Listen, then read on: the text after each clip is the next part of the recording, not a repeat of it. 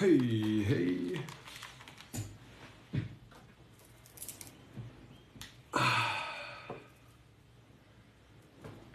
Oh, baby.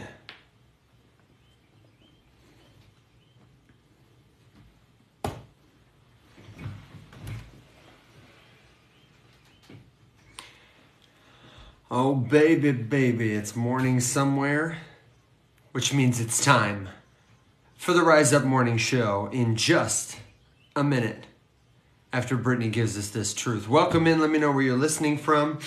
Once Alex joins, we're going to get started.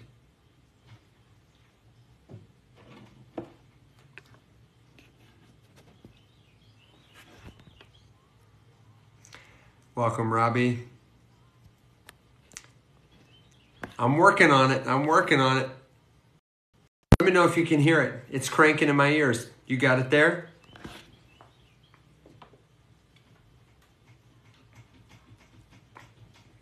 Mm-hmm. No.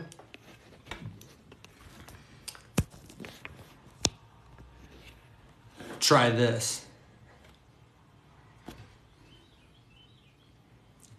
Give me an update. Getting the sound? Oh, hurting my feelings.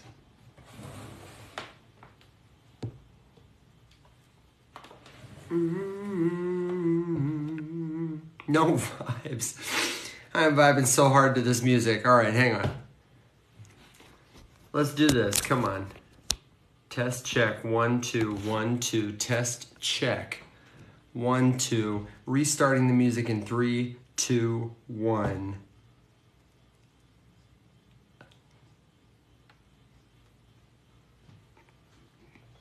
Oh, hurts my feelings so much.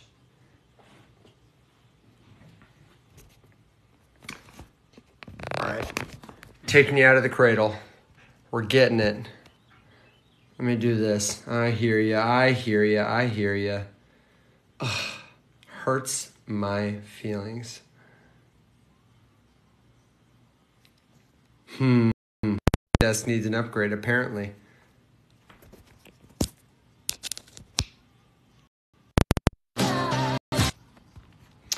Okay, come on. Just when you hear it, you know, tap the screen. I'm going to assume you can't hear it.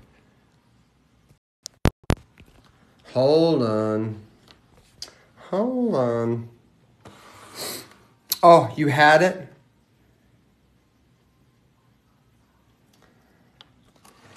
Oh, Rodecaster. What are you doing, Road? well, let me get Alex in here anyway. Five. About two bars. Two bars is more than we had a minute ago.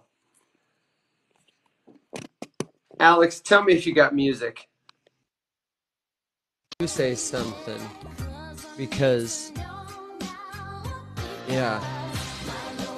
You do got it? Oh, great. Got it.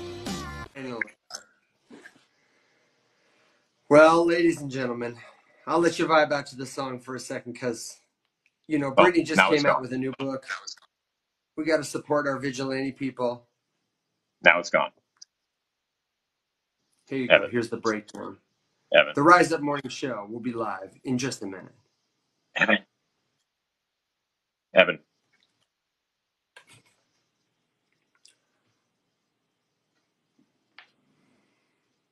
It's gone, my guy. Well, that just that just kills me. It absolutely kills me. What's changing? You got it now, right? Ugh. This soundboard is killing me now. I don't believe.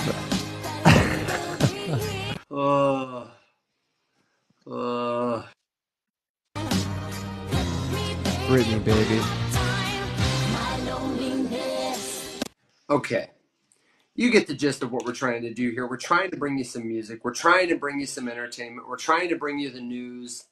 This is the Rise Up Morning Somewhere show because it's morning somewhere, which means it's time to wake up and smell the crypto with me, Evan, and him, Alex, we are happy to be here with you, representing Faceless Labs.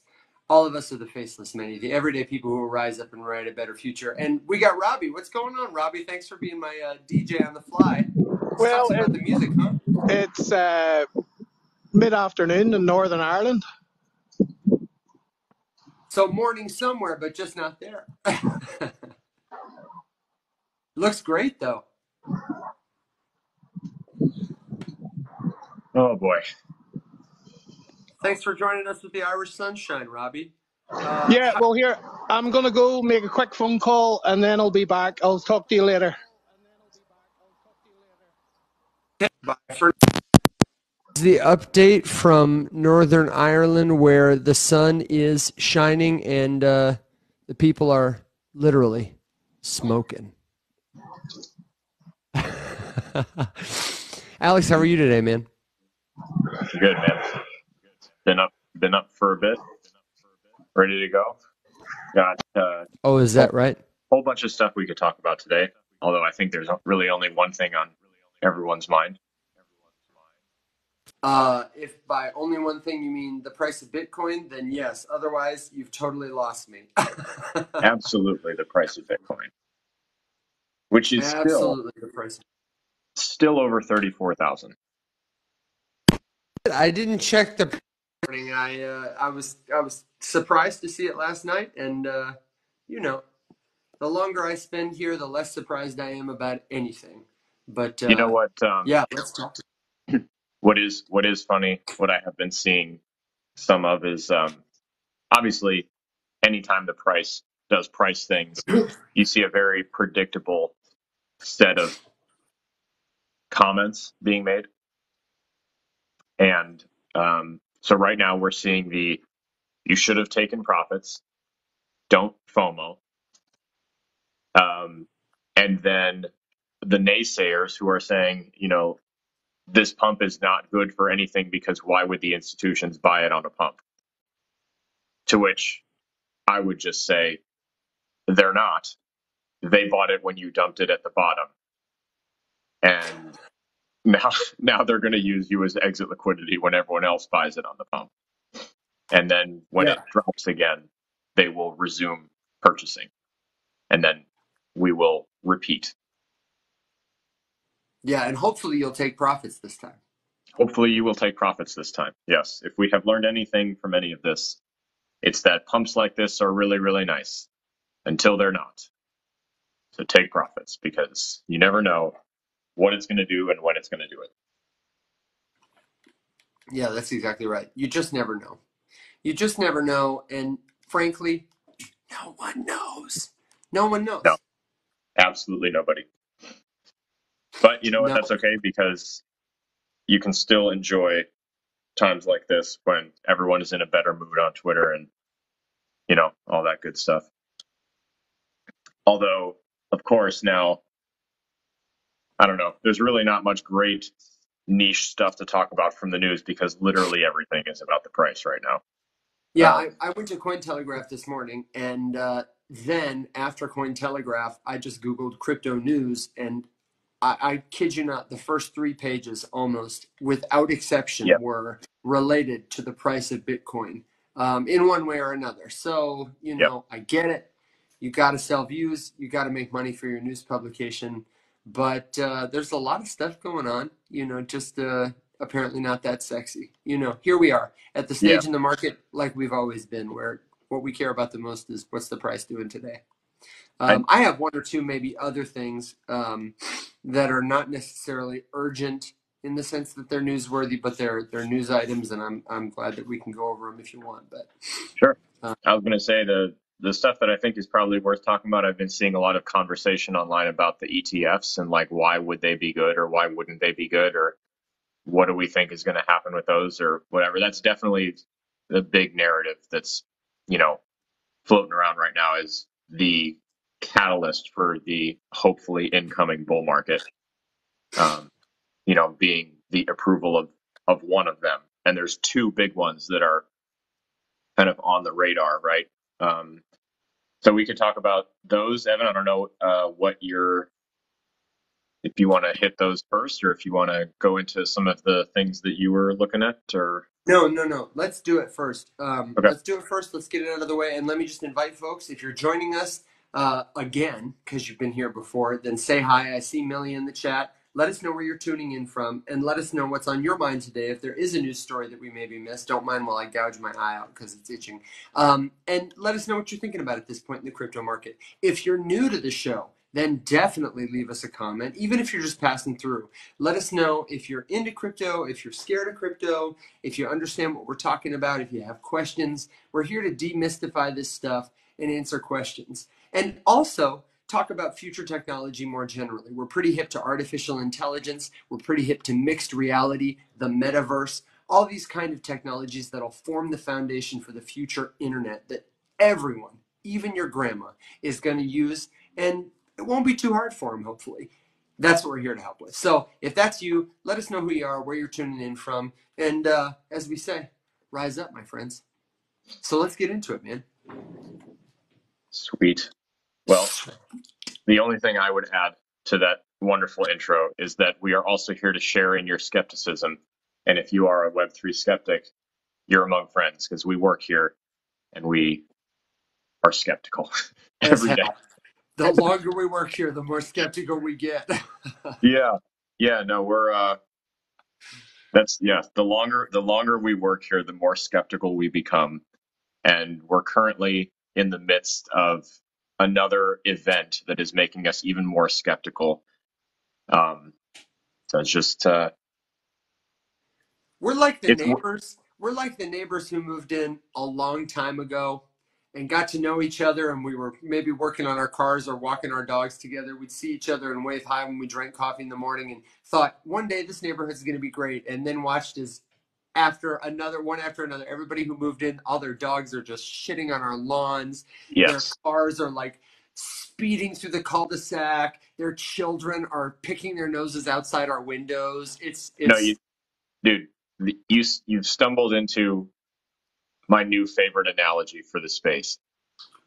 We are the new dog family that just moved into this wonderful neighborhood full of dogs where there's no breed restrictions or any dumb shits. Uh, and and everyone is just letting everything shit on everyone else's lawn all the time. That's a great analogy, and I'm going to steal that one. Yeah, thank you, thank you. Uh, get off our lawn, man. Yeah. Stop shitting on our lawn, please. Um, okay. So there's a couple couple ETF things we could talk about. Evan, I don't want to. Maybe you want to. You'd like to. What do you What do you think would be? I don't know. Give us a pro and a con of Okay, an ETF being approved. And for context, an ETF uh, is an exchange traded fund, and it is basically, in layman's terms, just a more uh, traditionally accepted manner of investing in a thing. And the um, the reason that people would like one to be approved is so that more people have access to invest in this new asset class that is Bitcoin. And so there is lots of debate. It is a hotly contested issue as whether or not that would be a good thing or a bad thing. And the front runners right now, which also leads to some of the discussion about whether it's a good thing or a bad thing, uh, is BlackRock. BlackRock is probably the front runner. Uh, if I had to pick one, if if I was if I was a betting man, my my money would probably be on BlackRock to cross the threshold first. Um, but there are a couple other ones. So yeah, absolutely. Uh, and and thank you for the introduction because that was you know it's good context for people to get. And I would say that the pros and cons, uh, or at least just one, um, is that an ETF is going to speed the acceptance, adoption, and availability of cryptocurrencies for everyday people. Also, likely to speed regulation, which could be a pro and a con. I'll get to that in about 15 seconds. As we've just said, crypto has a terrible reputation. We tell a terrible story because of all the neighbors shitting on everybody's lawns.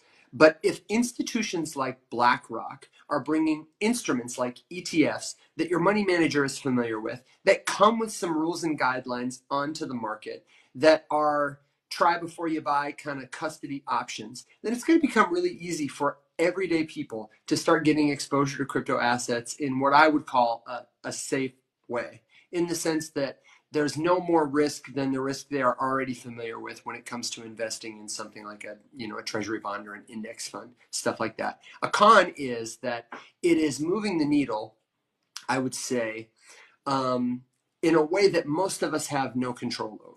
One of the things I like about cryptocurrency is that it gives me control over my assets and my information.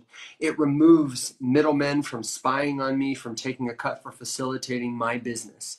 And though I do think this is mostly a net good thing, I am concerned, and we should be cautious about how things like an ETF will speed along adoption in ways that most of us have no control over. We want to make sure, I think, that people who are learning about crypto also learn about the ways they can truly own it for themselves. So the ETF, definitely a net good. Equally important is educating people about the ethos of cryptocurrency and how there are other alternatives that give them different kinds of privileges and also expose them to different kinds of risks. What about you? Well said.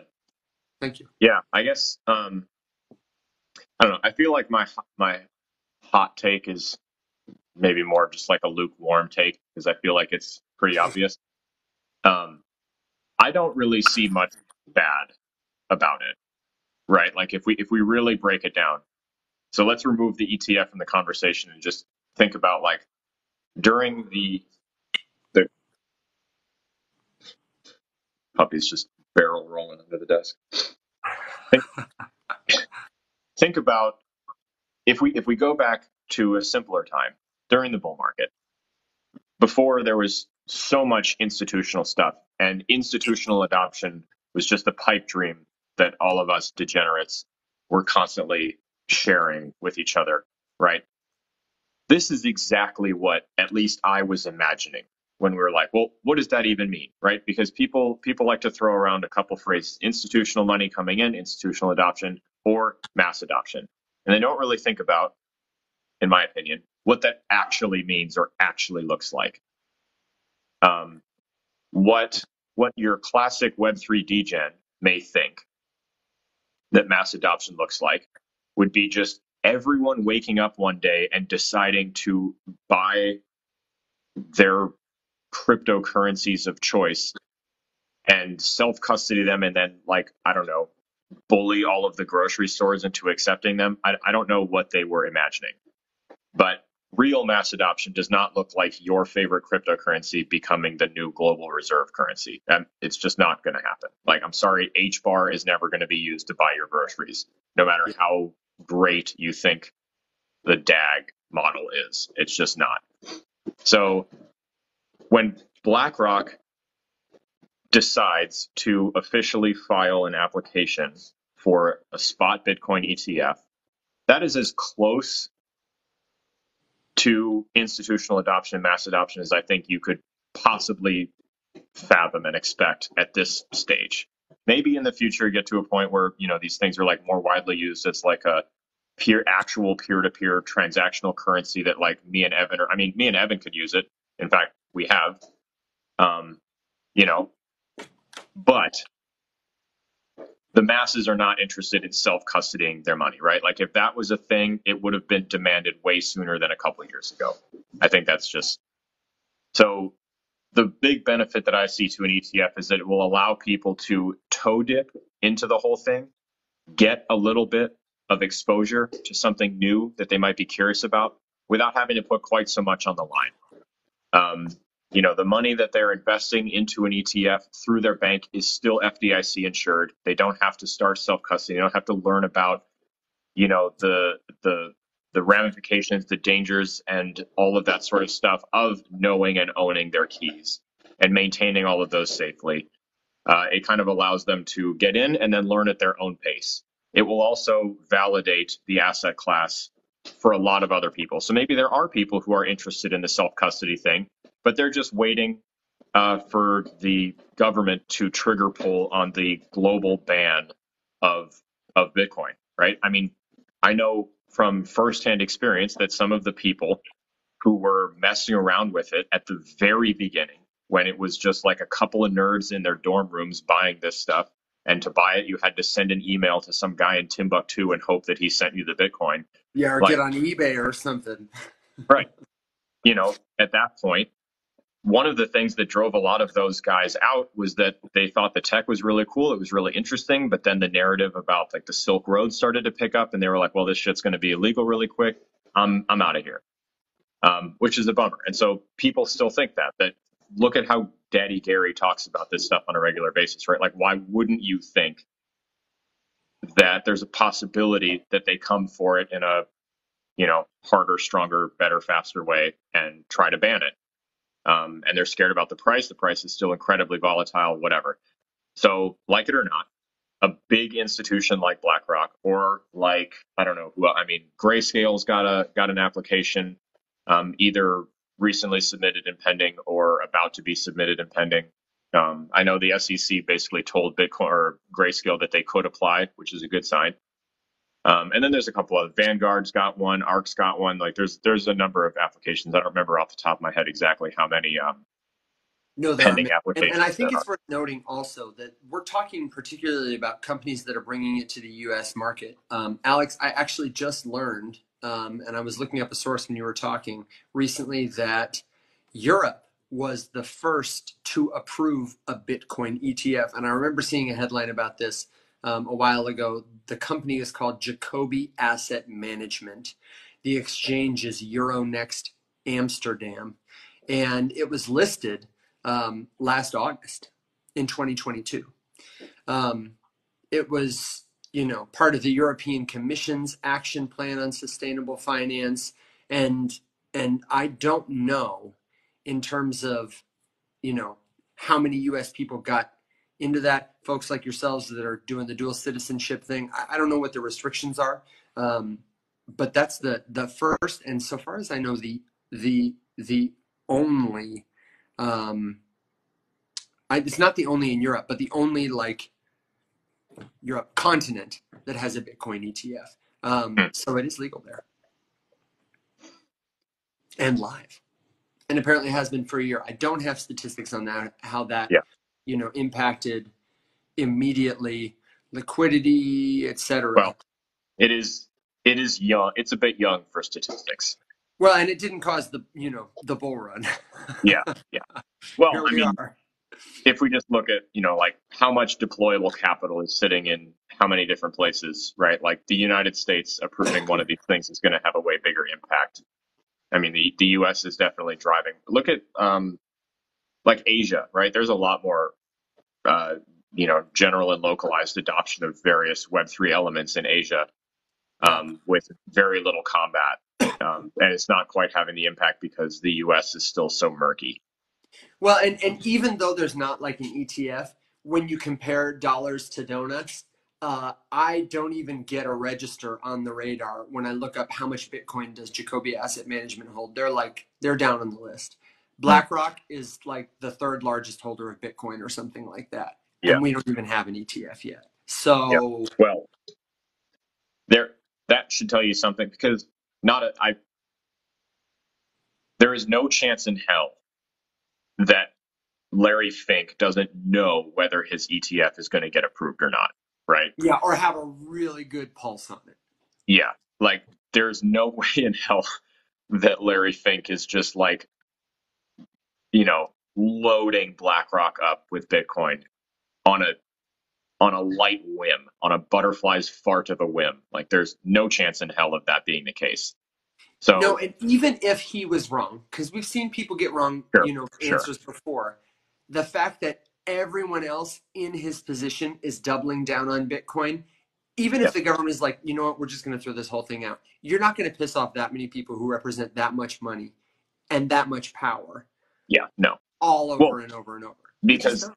these people with the money are the only reason that any of the people in a position to make the ruling are in the position to make the ruling, and they know that.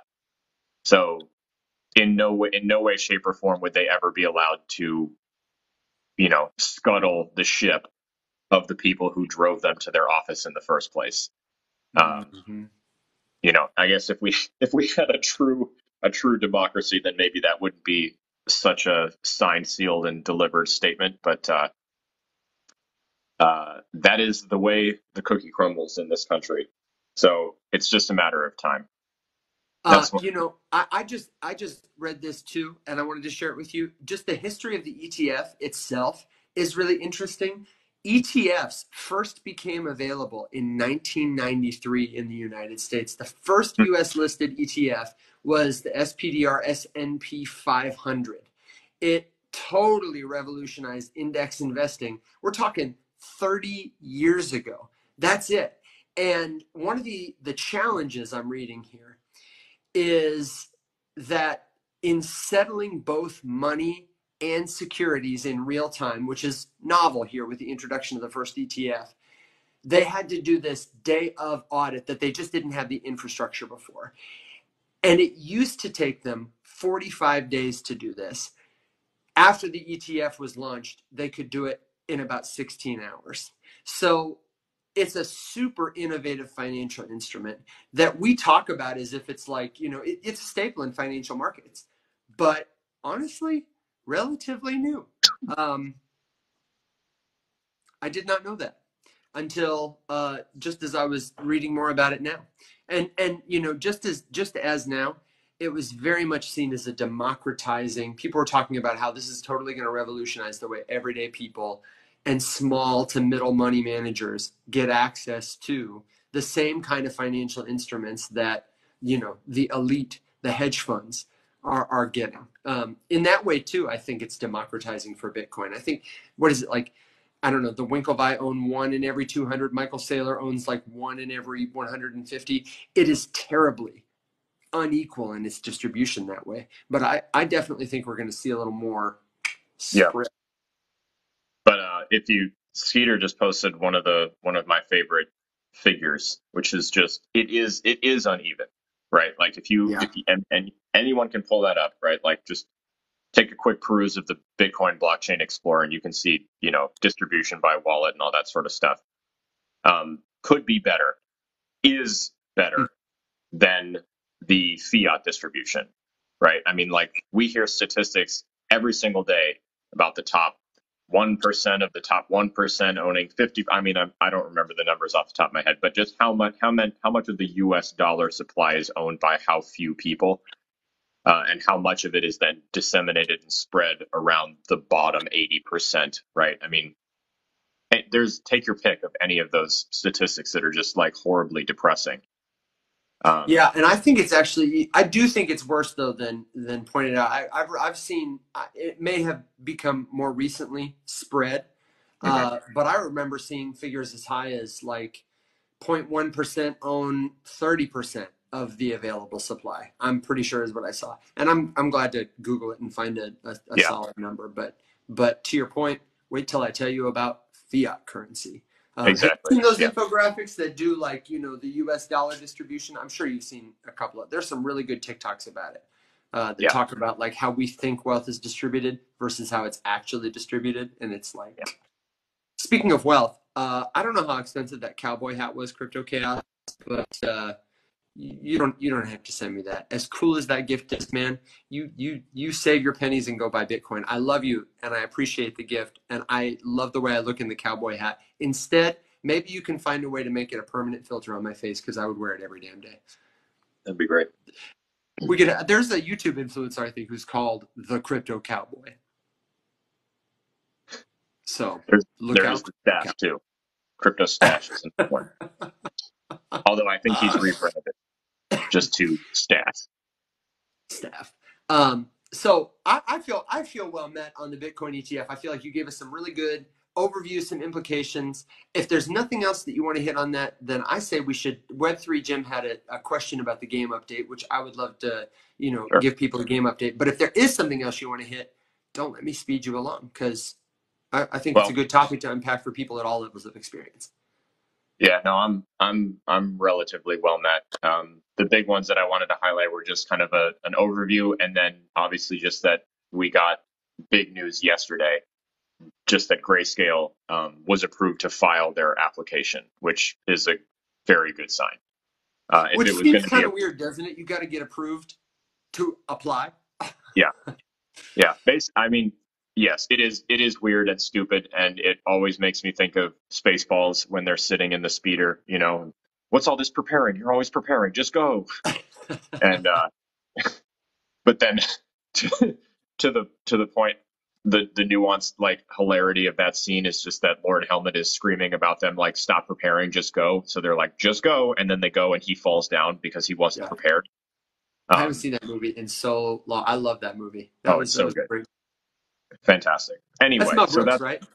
yes, Okay, sorry. Go ahead. yeah, and he he plays at least three characters in that movie, hundred characters, obviously. probably. Yeah.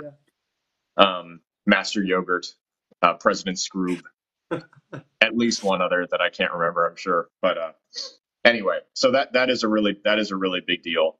Um, another pretty crazy story that obviously got no attention because Bitcoin uh, pumped so much is just that uh, the Chinese uh, digital yuan was used uh, in a cross-border oil settlement payment for the first time. And I just want to point out, for the record, that it wasn't fucking XRP. It was the Chinese digital dollar that was used to settle the cross-border oil transaction. And was that a digital dollar on their own private blockchain? It's so go to Cointelegraph and you can see the Chinese digital yuan CBDC used for the first time to settle cross-border oil deal, Wow. and it's right there. Um, million million barrel oil deal um, on the Shanghai Petroleum and Natural Gas Exchange. How interesting. Let me see what I So- can find about the uh, digital yuan here. Their very first one. Oh, man. Uh, uh, the second deal occurred last week between the Chinese National Offshore Oil Corporation and French Engie. But that transaction did not involve the digital yuan. I don't understand. Oh, maybe it's just significant because it was a deal in yuan, not digital yuan, but in yuan. Yeah. How interesting. Just just a little piece of movement that is probably a bigger deal than it seems like. Yeah, and and I'm with you, Alex. For people who don't know, you know, central bank digital currencies are increasingly going to become a part of our lives. I don't necessarily think it's a cause for concern the way that the use of the dollar isn't a cause for concern. We're here. We're Yeah. already using the government money. And I absolutely think that it seems inevitable that even if a CBDC was to be built on top of a decentralized network using their technology, it almost certainly won't rely on the volatile primary currency, the L1 currency. Nobody's going to build a token on Ethereum and then use Ethereum Ether as you know the settlement currency. They're going to build a stablecoin. They're going to build a CBDC. They're going to use that decentralized infrastructure to build something that they control. It's in their best interest um, No, until somebody you know does something different.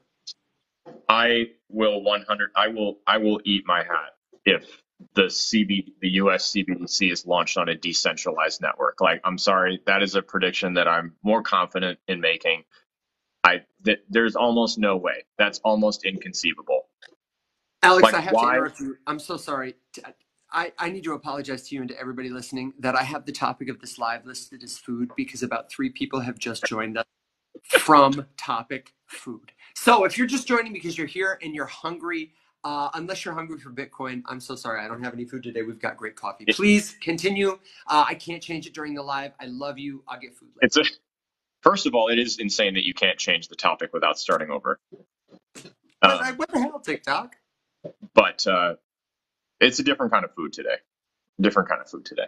Yeah, and uh, here's But- here's a minute for you. Uh, There you go. But no, I mean, like, I don't know. Am I? Is that that? I just think that's insane. That's an insane claim.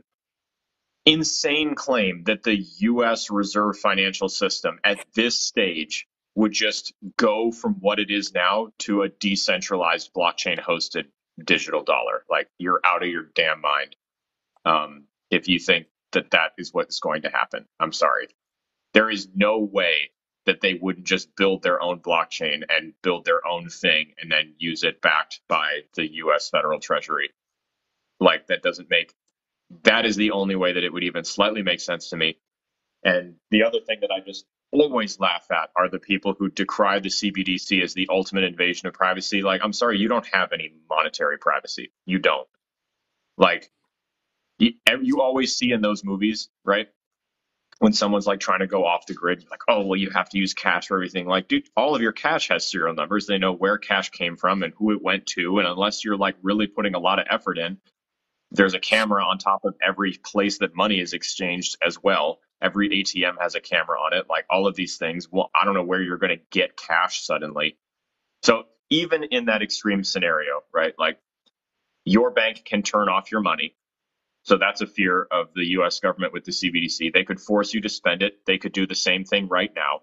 They could say everyone's bank balances expire in three years. You better go spend it. And Absolutely. they have the power to get rid of it because, surprise, your money doesn't really exist. It's just a number on a screen that could easily be edited by a very centralized authority that is accountable to almost nobody. Right. Like right. every every single danger that I have ever seen lauded about the potentially incoming US CBDC or a CBDC anywhere is 100% present and viable in the current financial system with absolutely no exceptions.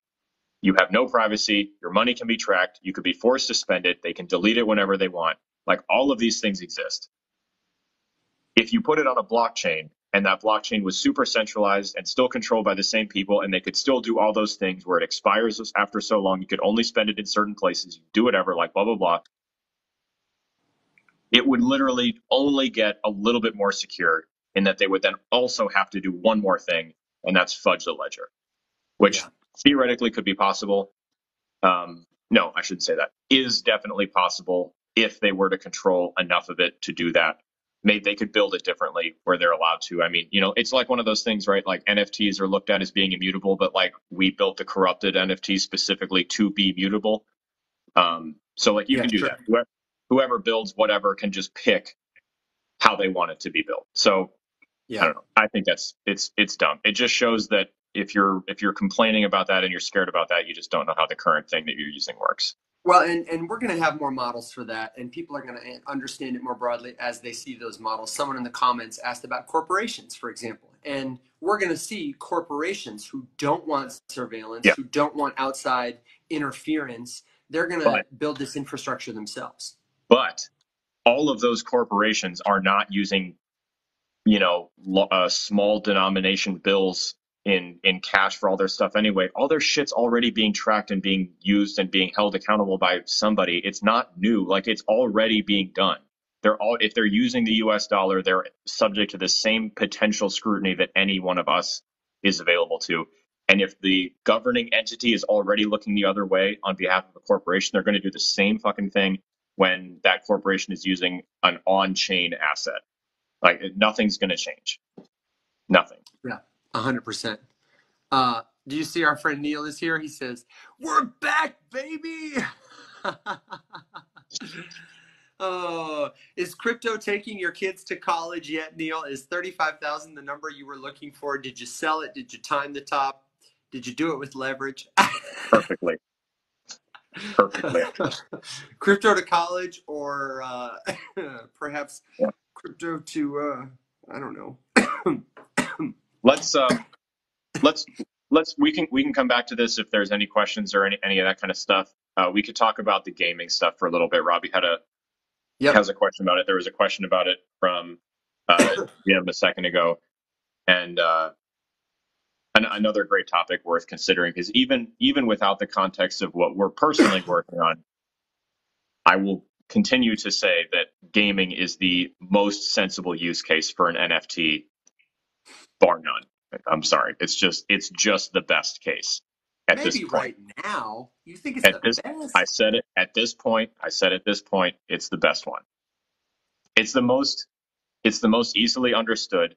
It's the one that we're the closest to and it's going to be the one that will ease most easily onboard the most people in the shortest amount of time possible.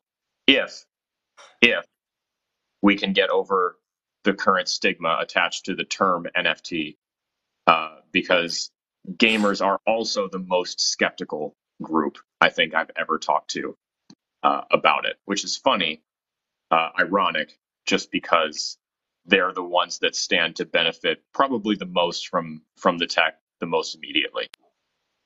Okay. I'm I don't disagree with any of it. I don't disagree with any of it. If I had to hedge a bet in a different direction, I would say maybe uh, shipping is my dark horse. I have seen what FedEx is trying to do, and I absolutely think they could pull a fast one, and all of a sudden, all the information for your package is tokenized, and you don't even know it, kind of thing. I think gaming will be more visible, certainly more visible, more sexy, more exciting to talk about. But I wouldn't be surprised if you know, in the not too distant future, UPS and FedEx were like, by the way, everything is a token. Robbie, welcome back, man. You said you had a a, a question or a comment about uh, about gaming generally, or uh, don't let me put words in your mouth, man. What what you thinking, brother? Well, I just wanted. Uh, I'm a bit older than you guys, and when Xbox came out, I was working in mobile in mobile phones, and the the reason I keep the Xbox, the old Xbox, is because it has Kinect.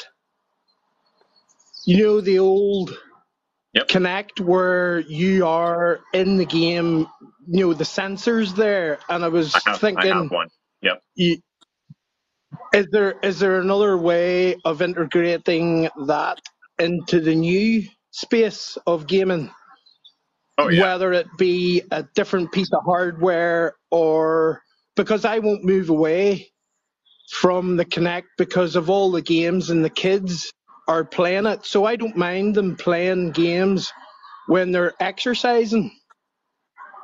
And I thought that might be another, I suppose you would have VR. hmm Is that an option on your game or? Can you what's the general thinking? What what's the general thinking on that type of connection, or how to operate the game from a standing back point of view for kids? Sure. So at this stage, the one that we're working on is mobile exclusive. There won't be any integration with any sort of movement tracking technology like you have with Kinect. Um, for anyone listening who's not familiar with Xbox, the PlayStation had a system called the Move, which is basically the same thing, uh, except instead of focusing on movement tracking of you, the, the human, stop. Um, it focused on like um, device tracking, and your your your PS Move wands had like you know little things on them that were that were tracked, but we're, what we're working on is not going to have anything like that. It's it's a mobile app. Um, I would love to get into that kind of thing. I feel like I've seen some pretty cool stuff with like mocap, you know, where you can wear a couple different things and get. Stop it. I don't- okay. She just she can tell when it's like the most inopportune time to just sit in front of me and bark at me. Uh, she'll sleep the whole time I'm not streaming, but anyway. Um, so no, in short, Robbie, we're not going to have anything like that, but I'm really excited about that kind of potential, and I think uh, as like the VR goggles and stuff get more and more and more advanced, we're just going to start to see more and more of that kind of stuff. I've seen some really really cool uses of the new Quest 3 um, with a couple other games that are kind of starting to integrate the VR and and mixed mixed reality stuff. Um, Well, and Alex, right now. correct me if I'm wrong here, but it wasn't that long ago when Unreal Engine, which is you know a, a, a an environment that games can be built in to be graphically beautiful, wasn't able. Nobody who who wasn't a, like a super coder could really use it. But now there are all these like Lego style applications where somebody like me who doesn't know crap can build a game pretty well assisted on something like Unreal Engine. So I imagine that as that technology becomes more available, Robbie, not only are more and more games going to incorporate it, it's going to be cheaper and easier for folks like your kids to build their own games using that kind of technology. I, I really think that's where we're going. Mixed reality, Yeah. connected experiences, um, immersive games, and not just games, but experiences. You know, if you're somebody who's stuck in a hospital bed somewhere, they're going to have museums you can visit, tours you can take, even though you can't walk. because Yeah, the yeah. technology is going to be cheaper and much more widely available. I don't know when, but you know, 10 years from now, it'll be further along than it is today for sure. Some of that stuff definitely already exists. Um, as far as like no code, no code solutions to game building, obviously at this point, I, from what I've seen, they're they're not great because building building games is unbelievably complex, and so unless you're like downloading a bunch of pre-built segments um, and just kind of like clipping them together, you're not really gonna, you know, I would I would imagine that we'll see a little bit more of it because Unity shit the bed so hard, uh, and that moved quite a bit of funding dollars into uh, Godot, which is the a different game engine. Um, Unreal 5 is a game engine as well. It's a thing you can use to build games. You still have to do a tremendous amount of coding to use any of those things. They have asset stores, but really all that lets you do is, you know, like download a specific thing and then you have to still code it into your game. Um, and then obviously you're building skeletons or you're animating scenes or you're, you know, uh, integrating different interaction pieces into your arenas or doing whatever. Like there's still a tremendous amount of coding. I know even just the little piece on like our game that we're that we have built and executable so far is a shitload of code. Um, our our game dev has got a, a bunch of stuff working, and it's li- like literally the only thing that happens right now is like basic character movement, and then the execution of an ability, but none of the abilities are like you know doing exactly what they're supposed to be doing yet. There's no math involved yet. It's just sort of like a placeholder animation, you know. Does that answer your question generally, Robbie? Yeah, it would, and it leads kind of into the next one. Uh, I see somebody's put up a thing about Reblock or Roblox already does a coding camp for kids. Yep. Yep. Uh, I believe you guys have a space as well. It's uh, it's finding the space and then the security is the big aspect of it, and it, I, I wouldn't be comfortable putting them on the likes of Roblox doing doing coding. I Yeah. would rather have a standalone, secure space where I can watch what they're doing Sure. Because they have had no interaction. Like my my eldest is ten. You know, I've done little bits of websites and you know I know about hosting and email and code, but it's having the confidence to let them Well, go on You're- in and do their own thing because there's so much there's there's just so many uh negative aspects to it one They're of the vulnerable. Well, yeah I mean, it's very well placed worry because um, there's a reason that in all of the spy movies, typically when they want like unsecured and hard to verify and track and trace communications, they use video game servers because a lot of those are just set up for quick and dirty communication without really a whole lot of verification. You usually don't need to make an account to like chat on a game server. Um, and Roblox is no exception. There's a lot of sketchy shit that happens inside of like Roblox or Minecraft or any of those kinds of things. Uh, however, on the other side, they do give you a really easy environment to interact with a game builder without needing to do a whole bunch of coding. Um, like my kid spends a lot of time playing in the Fortnite creative zone where you can just like build your own maps and arenas. Um, and it's pretty much just like Yeah. a drag and drop of, of game assets. And I know they have a lot of fun. And Fortnite will actually host those maps for you too. So there's like 400,000 arenas that you can go play in, and most of them are nonsense. But like, you know, sometimes YouTubers will create a big one. It'll, they'll release the entrance code and everyone can get in it, which of course poses a scary risk, right? Like you could build an arena uh, and then you could drop the code to a specific person. You could both jump in there, and then all of a sudden you can communicate via voice, and you didn't really need an identity verification to like get in there. So you definitely have to keep an eye on it if kids are using stuff like that, um, which we do all the time. I feel like I have to do an internet safety seminar with him like once a day, and it still doesn't all sink in. Um, yeah but uh, but there's some really cool tools in there for sure. I imagine those will get better. Two quick things. I want to highlight that our friend Jim, who builds games, works at a company in New Zealand, in the chat suggested a game for Kinect that his company designed called Area 50 Run.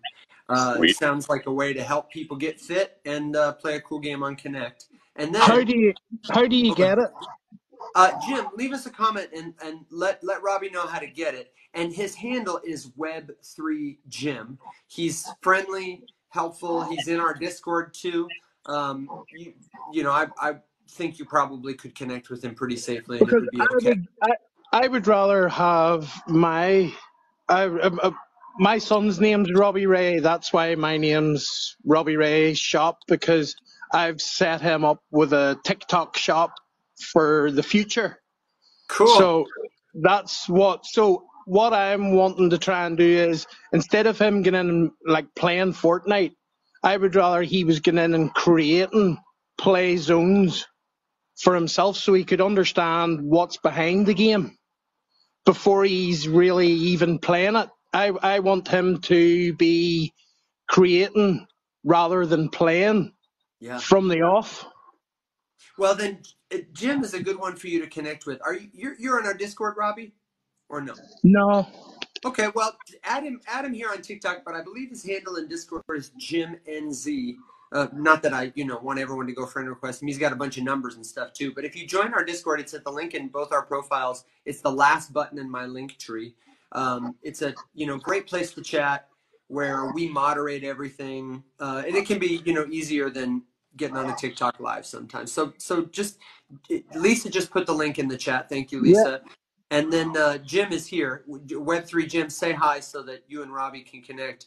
Um, Yeah. I, I, you know, encourage you to talk about it and maybe get your kid connected because it sounds like, um, you know, they could learn a lot from that kind of experience. I think that's great for you, Robbie. And that's the other thing I wanted to do is I wanted to say hi to Lisa. Lisa, welcome to the stage. How you been, my friend? Good. It's a little loud in here, so give me like five minutes and then I'll come back. Okay. Okay, sounds No good. worries.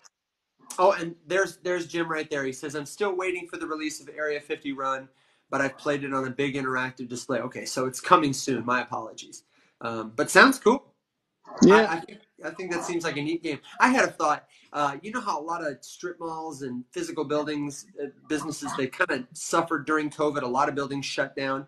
I started to see a lot of um, like VR zones uh, across the U.S. pop up where you could get a headset. It was a big open room, and you had the space to run around or do a barrel roll. And if you got too close to a wall, you know, it would flash red or a sound would happen in your ears, so you kind of move away. Um, I, I would love to bring something like that to Memphis. I don't have the capital to just, you know, open a business in a retail space, but I, I think that kind of stuff is so, it's already at a point where it's cool enough that we can start exploring.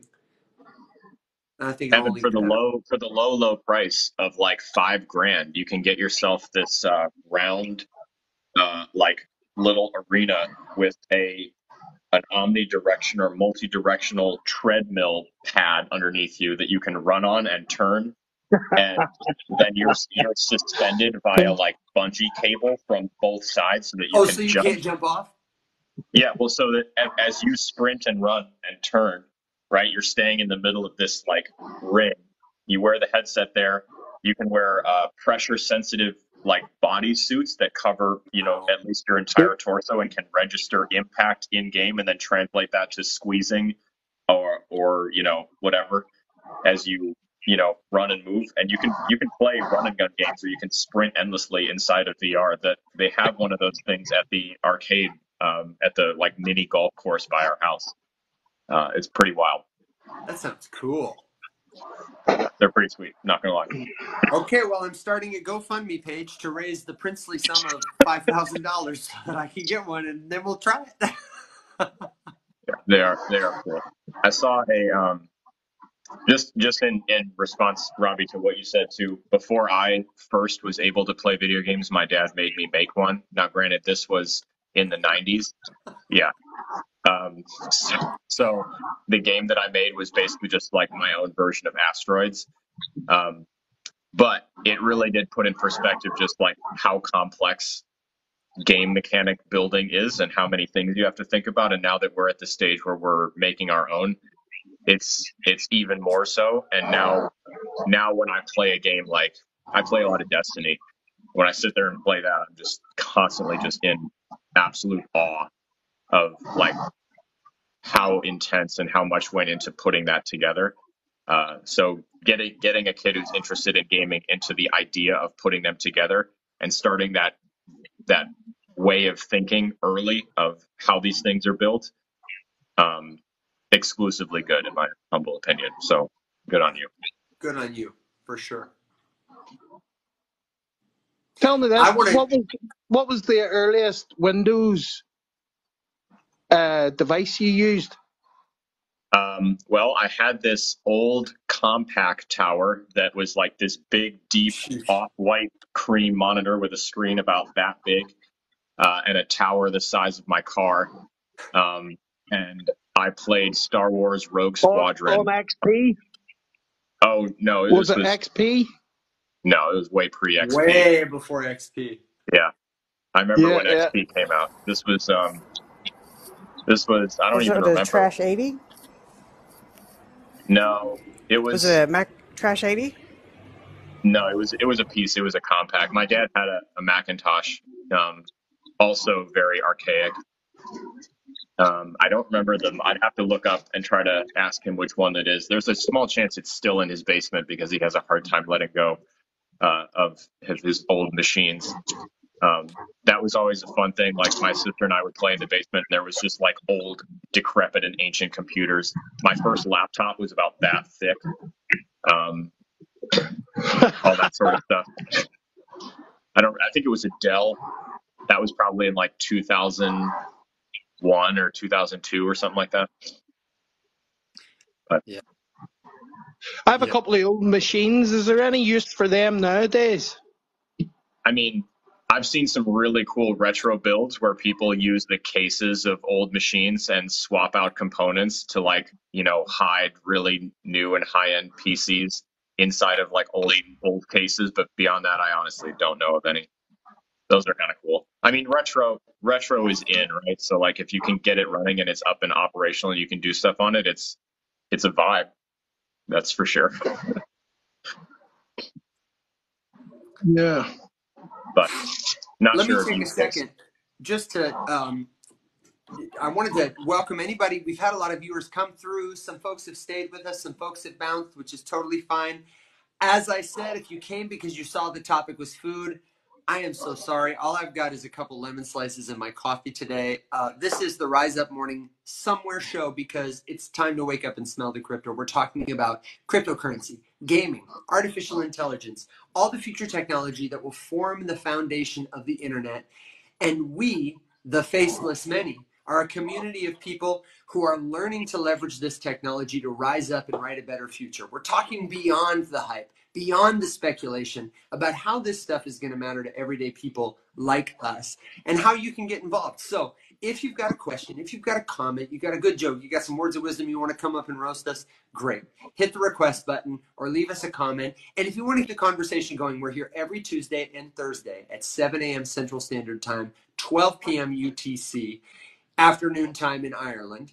And if you want to keep the conversation going beyond the show, then join us in the Discord server. You can find us at discord.gg slash the many, the many. Or check out the link in either of our profiles. It's a always free place to ask your questions, to share what you know, learn, and grow together. And uh, right now we're talking about gaming. I, I just replied to Sandra, um, uh, a friend of ours, one of the faceless many, who who asked about um, or who shared about her intention to build uh, a game for seniors. She's working to onboard seniors to future technology. And Sandra, you said something about offering a token.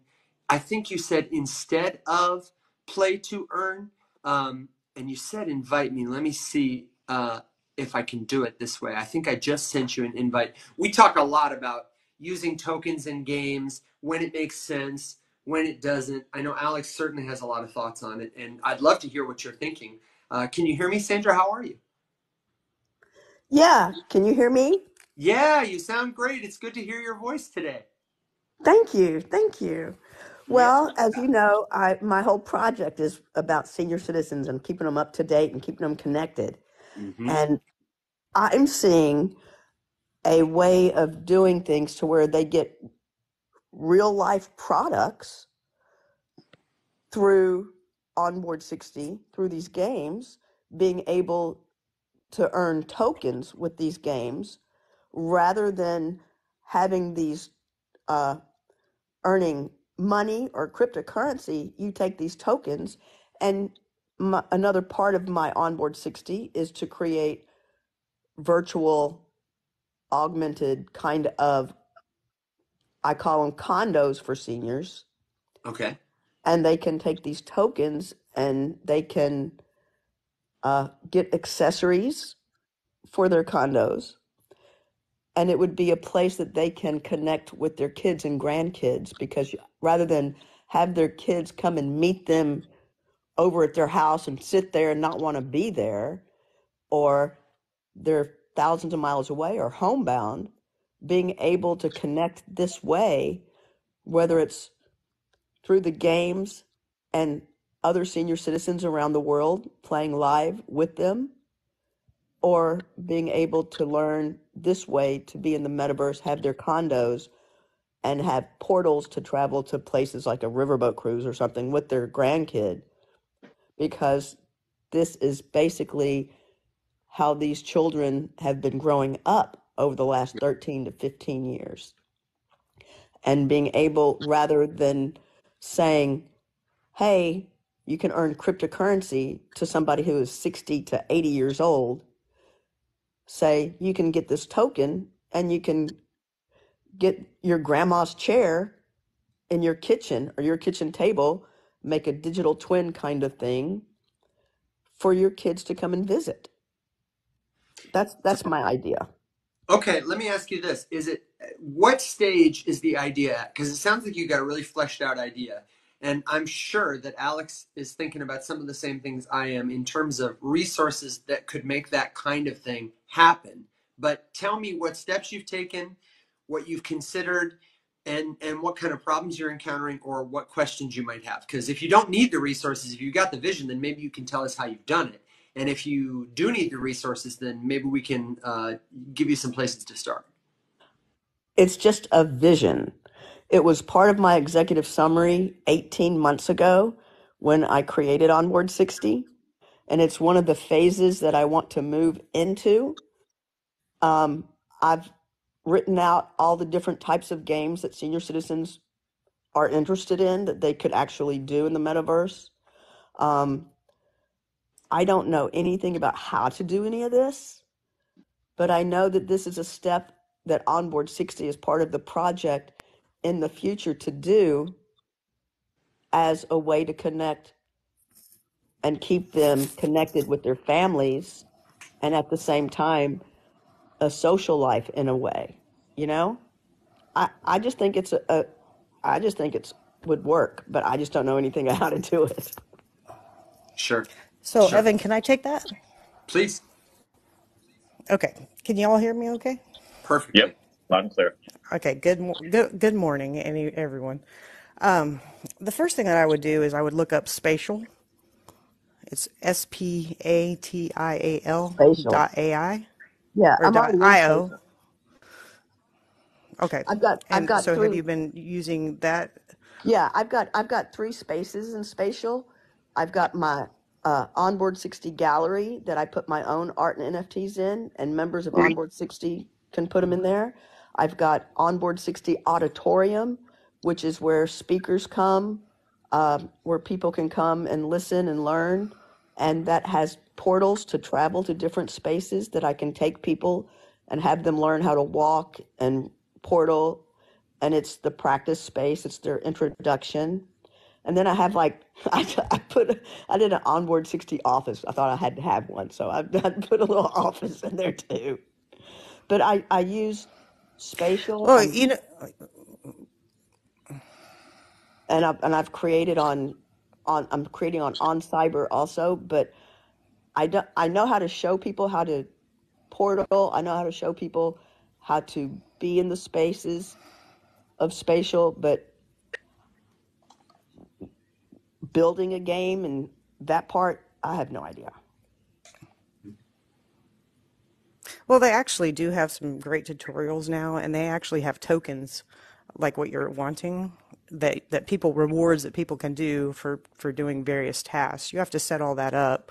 Um, just go look at some of their like their their homepage and and and look at their FAQs, and it'll get you started on that. But um, the reason that I wanted to pop in here was because have you talked to AARP and um, like the silver sneakers? Um, everybody that I've, I've tried to reach out to, you think I'm crazy. but I do have a connection. No, because if no, because if you go to like a Silver Sneakers um, or AARP, AARP has a, a host of games. Um, they're just online, you know, memory games, stuff like that. And then, of course, Silver Sneakers by Blue Cross Blue Shield is, you know, trying to get um, people more active. So that would be a definitely a place that I would want to connect with and talk to. Yeah, I think silver sne- sneakers were probably be better than ARP because everybody I've reached out with ARP just anyway. So, Yeah. but I'm I'm I'm getting in contact with a um, senior living association of Florida that I'm doing other things with when it comes down to healthcare and technology. So I'm hoping that I I will be at that point to be able to go, hey, we can do games too. And Spatial is a fabulous place to start. What would you, um, just to jump in, what would you say is like if you could wave a magic wand and have your next step in front of you and uh, under construction, what would that look like? A mentor or a tutor to help me learn steps of creating a basic one game. Somebody to help me and show me what to do. Gotcha. If you want, if you want to reach out, I can um, try to connect you with some people. Uh, if you want to send me a DM on any one of my bajillion platforms, the link in my bio has the easiest way to contact, including my email. There's an email button right at the top of it. Um, but if you want to send me an email there, then we can start something. Love it. Okay, and I'm gonna give you I'm gonna give you a couple resources that not that you need more more things to research, but that will put you in touch with tools. You can you can set a timer for 30 minutes and look up all these things enough to feel confident about whether or not you want to go down the rabbit hole and should open your mind to other tools that might help you. All of them are free. Lisa already mentioned spatial. I know you're there, you're hip to that. Um, I, I would encourage you to look up Alethea AI. Are you familiar with Alethea already, Sandra? Oh, you're muted. Sorry. It's okay. Alethea, is that A L I or A L E? A. L E T H E A. Alethea AI. Okay. They are developing what a number of companies are doing, but they call it an INFT, a personality pod that is programmable that can be paired with a non fungible token. For example, there is a voice, a digital avatar face and body for Napoleon Bonaparte. And you can interact with it on their website. It has been trained to look and sound and think like Napoleon might have. It's kind of like Chat GPT, but with a face and a voice. And they're they're modeling this technology for people like somebody who has family. Imagine if you had an NFT that was trained on you um, and people could access it to ask you questions or your friends and family could spend time with it after you were gone and it would have your memories. Right. Yeah, um, there's a as you're as you're working to build that kind of an interactive experience you know a, a grandma you can visit anytime even after she's gone that people can talk to they can upload. You, you can do this with other you know technology but it's sort of an all-in-one package for just this idea. Um, the, the personality pods are nfts i don't know what they cost right now. Um, but this kind of technology will become more ubiquitous and alethea talks the people there just talk about it well um, so that's a good one alethea ai and infts the other one i want to tell you about is um, our friend Michael and co-founder Michael um, started a company called Monark, like the butterfly, but with a K at the end. Monark Market. And he's not doing a ton with it right now. It's launched, it's set up. It's a marketplace for virtual items that is specifically about metaverse integration. They're integrated with spatial. And this is all still very new, but a marketplace like Monark is going to be a great solution for people who want to build, list, and distribute digital assets as tokens, but don't have any coding experience. They have like toolkits you can buy. They've partnered with a couple of different artists so that you can get these pieces and then drop them right into your spatial store. And that's going to be the kind of solution that in the future somebody might use to put their chair, like you said, in their metaverse space. I don't think it's super, super, you know, it's not like IKEA where you can go there and get everything that you want yet. But Well, it's like Sketchfab. it's a lot like Sketchfab. That's exactly right. And tools like that generally, like I say, you can spend 10 minutes, click around, and Yeah. just being connected with it, being connected with that community as that kind of stuff develops. So those are three of the pieces I think you'll need INFTs, you'll need a metaverse like Spatial, you'll need a market like Monark, and the fourth thing I would tell you about is um, I know you're like surface level familiar with the faceless many, but are you familiar with the idea of rev points? Rev points. Yeah, R rev R points. Rev REV? points was a, a non-token. is it R E V are you saying R E V? Yes, I am. Rev, Okay. short for revolution. This Okay. was a this was a concept we had when we launched the Faceless Many. We wanted to build a regulatory compliant utility for holders to earn a reward just for holding their token, so that we could see who had held the longest, so that those people could earn some benefit. Um, but in order to be compliant with regulation, we couldn't launch it as a token and advertise, you know, earn earn this thing for holding your NFT. It's going to be worth money. And we also didn't think that that would be valuable in the long term, sustainably valuable in the long term to just, you know, give people money that that who was going to pay for that, right? Um, so rev points, they don't have any monetary value. They're valuable in the context of the faceless many ecosystem.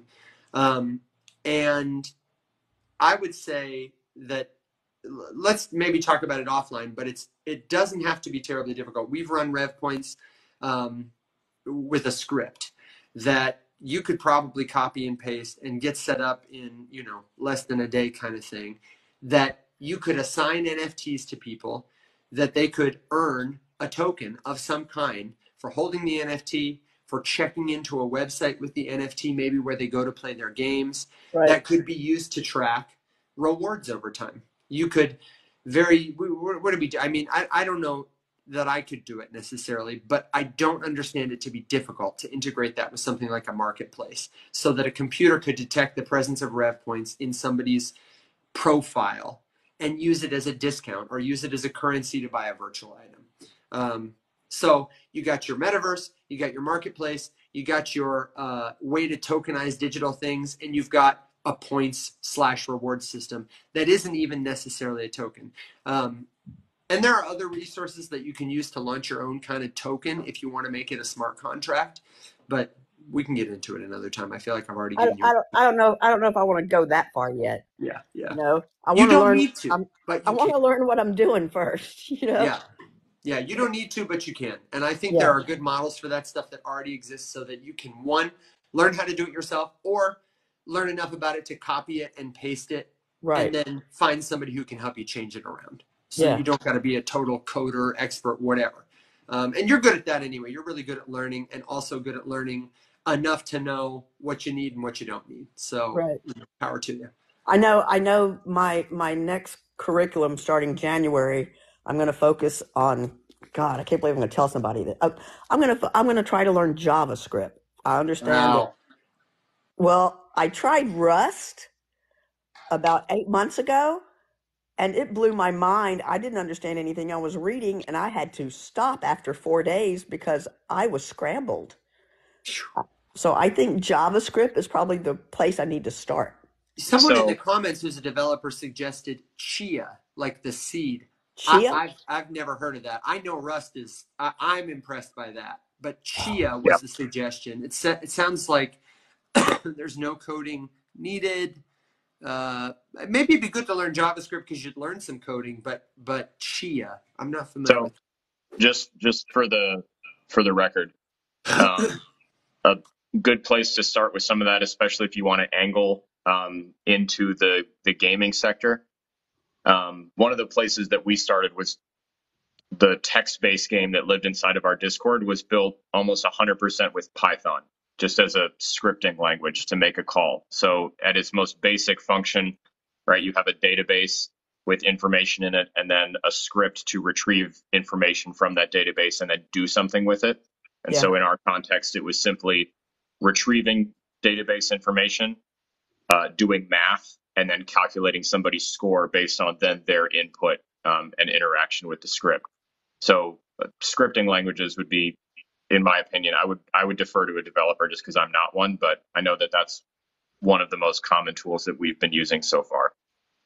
Yeah, I I I really think that it would be a useful thing for me to do because in the future, um, if I'm trying to set myself up to make this a large senior citizen organization project, um, I want to be able to expand it and be able to understand the developers that I talk to that are going to expand it. I think that's so cool. I can I just put a pause on this moment to say if you're tuning into this show as somebody who is new to cryptocurrency, is new to AI, the metaverse, all that stuff, you are in the right place to learn. And if you are somebody who is experienced in the cryptocurrency space, in NFTs, in blockchain, whatever, you are also in the right place. Do you know that in the last hour, we haven't talked about what's the price going to be one time? if you want to get ahead in this space, forget about that stuff. Stop watching those people who tell you what to buy because it's going to go up in price tomorrow and start hanging out with people who are giving you tools, who are provoking you to think about this stuff, who are asking you questions, who are sharing resources because those are the people who are going to help you set yourself up so that no matter what the price does tomorrow, you will be in a good place, my friend. Hang out with us, ask us your questions. We don't know everything and we're not afraid to say it. But we do know a lot of smart people. So if you got a question, leave it below, join us on the show. And if we can't answer it, we'll put you in touch with somebody who can help you. Uh, Sandra is a, is a great educator. Lisa is a trusted community member, a super smart individual. Alex is my good friend and colleague. And me, I, I, I like good food. And um, uh, I'm just I'm just here for the ride. So uh, thank you, my friends, for being here with me. I didn't mean to get off that, but boy, we are cooking today. Seafood was an appropriate topic for the live. yeah, I guess so. I guess so. Um, I, I Well, think uh, I think I think we're I think we're really really having a lovely conversation, and I know we're getting close to the hour and a half mark. So maybe we can start winding things down just a little bit. I don't want to cut anybody off. As I say, if you got a question, if you got a comment, and you know, Sandra, don't don't mean this to take it as me shutting you down. Um, I always just like to help people be mindful of the time. Your attention's your most valuable asset. Um, what else are you guys thinking about? Do you have uh, um, important thoughts, questions, good jokes, words of wisdom that we need to uh, consider as we as we as we uh, head into the day, head into the rest of the week? Sorry, just scanning scanning I the know we chat got an real active quick. chat going on in here. I don't know. Just be just be open, you know. Just be open. Yeah. Sandra, are you still doing um, your uh, spaces in the mornings on Twitter? I have uh, Monday at 1 p.m. Eastern and Wednesday at 1 p.m. Eastern. Okay. Monday is the one that I do not record because my background as a counselor. It's all about starting your week, talking about your joys, stuck points, and accomplishments. You know, what you can, what's really going on. And then Wednesdays, I do spotlight interviews with people that have a social impact or a project with a purpose. Love it. And what's the handle that people can catch that? Um, Sababa Lens, S A B A B A L E N S. That's my Twitter thing. Got handle. it. I'm gonna post it in the chat. Um, I will vouch for San- Sandra is my friend and facilitates a great conversation. I really loved uh, getting to be part of the conversations in the morning that you had on Twitter, where you would share, you would invite other people to share. I think I think does a wonderful job holding space. Thank you. Yeah, you're welcome. And as Lisa pointed out, uh, Alex is still in the show. Uh, we wouldn't we wouldn't have a show without giving you a little bit of dog, A little bit. or in Alex's case, a lot bit. This is Phoebe. She's getting gigantic. yeah, she's huge, dude. I remember when she was like this size. She has quintupled in size since she came home. Which is great. She's But she's she's doing all right. She's doing as well as she can be expected to do. This this is the sick puppy. Yeah, chronically chronically ill. Um, lots. Of, she's a genetic disaster, aren't you? Yeah. it sounds like an emo song. Genetic disaster. She's um she's got a lot she's got a lot going on. She has Ehlers-Danlos syndrome, so um she has all sorts of stuff. Hypermobility. She has a very hard time walking and standing. Uh, she's almost completely blind because her eyes are way underdeveloped and undersized, so her eyes can't actually open. They're they're too tiny. Um, her teeth are super super small, so her tongue won't stay in her mouth. Um, she's uh she's got all sorts of her Ehlers-Danlos basically is you know collagen uh, not forming correctly in her skin, so most things that touch her end up cutting her. Uh, so you have to keep her nails super rounded. She wears protective like scarves and stuff on her legs. She has a bunch of stitches in her back leg right now because one of the other dogs stepped on her and cut her leg open from top to bottom. Um, so right now we're trying to heal that. So she's spending most of her time in the cone of shame. Although right now she's um, she's snuffling on the uh, snuffle mat in the corner, and she eats her breakfast out of a puzzle. Um, but yeah, her and her sister came into the rescue a while ago. I brought this one home. Her sister got adopted. Her sister was completely deaf, um, but luckily didn't have any of the other stuff. Jeez. Uh, I will She, echo what the comics said. You are the man for uh, giving those dogs a good life. well, they're So was they're this worth it. um what, was the, what was the reasoning behind this? Was it just inbreeding or breeding messed up thing? Like what what why did she have all these issues?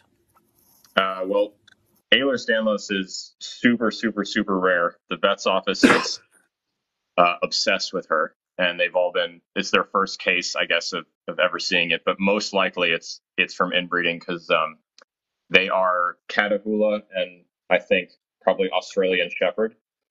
Um, I don't know. It looks like there's bulldog in there to me too, but I mean, anytime you have these like, it sucks to say, but pretty white furred dogs, they're almost always inbred, and they almost always have vision hearing problems. Um, luckily, she hears really well, uh, but she can't see at all. Um, she's if you get outside of I think probably six feet or so away from her, then she pretty much loses sight of you. Uh, but yeah, inbreeding. I mean, that's most of our, a lot of our cases that come into the rescue come from, uh, come from backyard breeders. Millie was curious if the clothes protect her or if there's any risk that extra fabric and friction could also cause wounds. And I'm kind If it's too, if it's too intense, yeah, but no, they, I mean, they do a pretty good job, um, of, of, uh, protecting her. And luckily, as she's grown, her fur has gotten really thick and that helps a lot too, but she has a bunch of extra skin on all of her joints. Um, and those are the risky areas. Those are the problem areas. So like the reason her back leg got so cut up is because the my other dog's toenail caught her uh, ankle, knee, whatever, and there's a bunch of skin there, so it just just split it right open. And then the other big area is her neck, which is why she Mm. wears a scarf, and her Hey, face. but you know, also it doesn't hurt that her aesthetic is fantastic. Oh yeah, she's cute as a button. I'm I'm jealous of all the layers going on. If I didn't have so many layers myself, I would I would be I'd be hunting that dog down and stealing that scarf for sure. I actually, I actually have Kevlar sleeves um, that I'm waiting for her to grow into that will Oh go on her on her arms. Yeah. People are going to be like, uh, "What's up with your dog? Is she uh, tactical?" it sounds it sounds it sounds much more tactical than it is. They just look like yellow cloth. Um, okay. It's like literal Kevlar fiber, just like you know, woven into little little sleeves. But somebody said 3D print the dog an Iron Man suit. Yeah, if anyone if anyone in here is a, is a 3D printer, get at me because uh, we can. I could use I could use some some 3D printed dog accessories. I see we've had a couple of friends join. Uh, Linda Ray, uh, welcome to the show. I see your friend Sam. Kip, welcome to the show. It's good to see you this morning.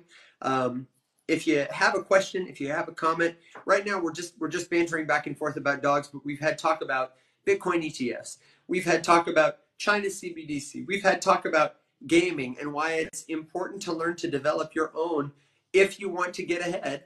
And also, we've talked about uh, Sandra's next iteration of Onboard 60, bringing senior citizens and the people who love them into the metaverse to have deeper interactions. So, if you've got a question, if you've got a topic of conversation, you've got a good joke, word of wisdom, then hit us with it. Uh, we're heading out the door in a little bit. Lisa, um, I know you uh, came up when Robbie was on and you were talking a little about everybody else's stuff, but I didn't know if you had a topic of conversation that you wanted to share this morning unprompted by anyone else. Is there anything on your mind or, or what are you thinking about? What are you what are you doing? In Atlanta today and uh, traveling is oh, fun. Right. And I'll just leave it at that because okay, because uh, hotels suck, and that's that's all I'm going to say today because I'm I'm pretty fuming. So hotels suck. Oh, I'm sorry to hear that. I'm very sorry to hear that. Uh, you know, might be better than uh, sleeping in your car though.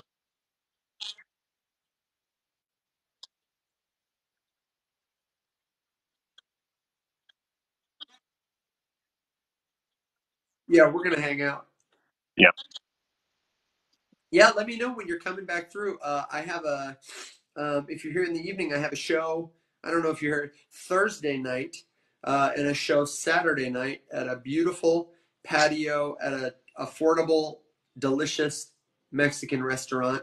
Um, I'll be playing all the hits um, and some of the whatever you call a song that's not a hit. I'm sure.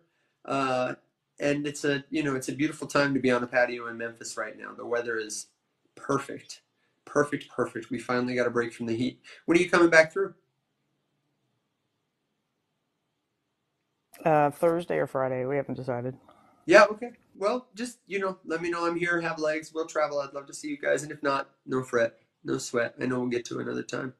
Um, while you're in Atlanta, you could uh, you know drive over there. How far is how far is uh, the the coast area where you are, Alex, to where Atlanta is? I forget. Oh, dude, I'm like four hours from Atlanta. Oh, okay, okay. That's yeah. like that's like what happens when people talk about. They're like, "I'm coming to Nashville. Can I see you?" And I'm like, "Oh, no, no, no. I love you, but I, it's a long way. Yeah. It's further than you think." That's yeah. My like from where well, I used to live funny? in Michigan to where my parents live was like an eight hour drive in the same state. You know what's yeah. funny is the the, fu- the funny thing is is like we get into Georgia and it's like 55 miles to Atlanta. I was like, holy crap, that's so close to the border. I figured it'd be more centrally located. Yeah, I don't know. I don't know. I sure don't know.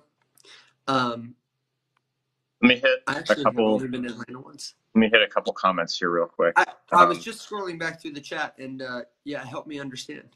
So Linda asked how business owners can gate content for private memberships. And and then Dracatus asked um, what we normally cover. So let me hit let me hit both of those in the in the nutshell. First, uh, Linda's question. Yes, absolutely. Um, that's kind of the benefit of a token. Um, basically allowing now the caveat here is that you certainly don't need a token to do that. You can gate a membership. There's lots of ways to gate a membership. The benefit to having a token would be that you can allow your membership program uh, or community to be more widely spread without the need for anyone to ever reveal personally identifiable information. Sort of the security benefit of all this, protecting privacy until someone wants to relinquish something rather than being forced to um, from the jump. So you can allow a mech or create basically a mechanism wherein users can claim a token to identify them uh, and then use that to log into something. And it really depends what the token's on. There's a ton of open source tools um, that you can use to track that kind of stuff. Uh, there's um, probably some pretty good GitHub repos that I could recommend uh, if I got the links from our developers, because I know we use a lot of token gating inside of our own Discord for for stuff. So a Discord bot basically hosts like a wallet verification, connect the wallet, it scans if the token is present in the wallet that has been connected. It allows you access to whatever. Um, I'm not the best person to talk about specifics just because I'm not a developer. Uh, but I certainly know developers who do build token gated solutions to, you know, memberships all the time. Okay, listen, I'm sorry I turned into a giant. I don't know how to fix it. I need a millennial. Um, listen, but... listen, Evan, Evan. You're the only one that can see that when it happens. None of us saw it. Oh, really? Oh, really? Thank God. So you all don't just see like my nose and my eye. No. You see my whole thing. Yeah. Okay, yep. on my screen, I look like this right now. no, you're good. so, you're good. Uh, I wanted to give you a resource for it. Wow, what happened? Lisa just left and fixed it. God bless you, Lisa. But then come back. Um, I would suggest starting with Mirror. Mirror is a lot like Medium, the content publication website, if you're familiar with it, but they allow you to host different kinds of content behind easy token gates. And I'm pretty sure you can mint tokens on their platform. And it's the kind of thing that you can do if you wanted to host a blog and tokenize it so that people can buy copies of the blog, they can do that. If you wanted to do different tiers of membership, you can do that too. That's a good place to start. And the other one I would check out is called Lens. Um, but just generally speaking, okay, wait, three Mirror, Lens, and Manifold Studio. Manifold Studio, if you, I see you're into blockchain, but you're maybe new to doing token gated stuff. Manifold is a great platform for people with no coding experience to build smart contracts, the containers for their tokens, plug and play style like Legos. Um, and they integrate with a lot of different other apps. So mirror.xyz Lens, I don't know what their URL is, but just Google Lens Protocol. They're a sort of social protocol. And Manifold Studio. Check those out and then report back and let us know if that helps. And Sandra's Linda, got one too. Go ahead. Linda, I can give you a lens invite if you'd like. You know, look up look up lens protocol and look at see what they are and if you want an invite, let me know and I'll give you an invite. Am I speaking out of turn there, uh, Sandra? They, they offer different kinds of token creation and token gating for, for creators and business owners. Isn't that right?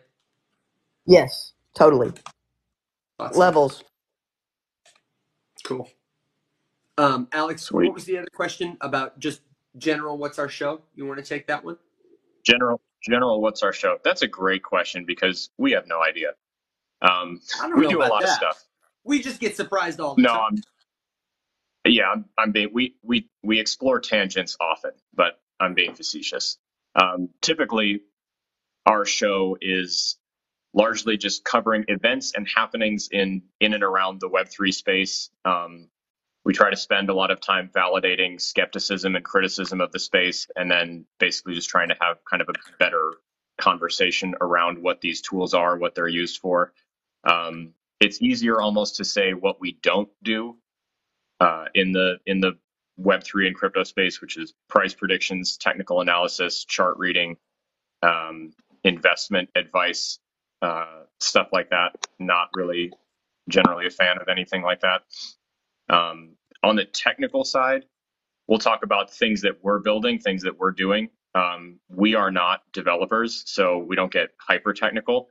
Um, would love to have a developer on the show at some point if that's anything anyone is interested in that is more technically minded. Um, we haven't talked too much about specific projects we're doing right now, just because a lot of them that are under construction are like really fresh and we don't have a ton of details yet. But right now we're actively building a mobile game that carries a Web3 integration. And we're also building a kind of social networking protocol uh, for Web3 communities that offers a little bit better security than the platforms that are currently available, which are either Discord or Discord clones. Yeah. But uh, Um, and to add context to what Alex said, we have both been in the space for about six years. We've been working here for the last three and a half years or so and are just interested in helping the everyday people we colloquially refer to as the faceless many leverage this technology, whether they be developers, whether they be gamers, whether they be investors, to, we say, rise up and write a better future.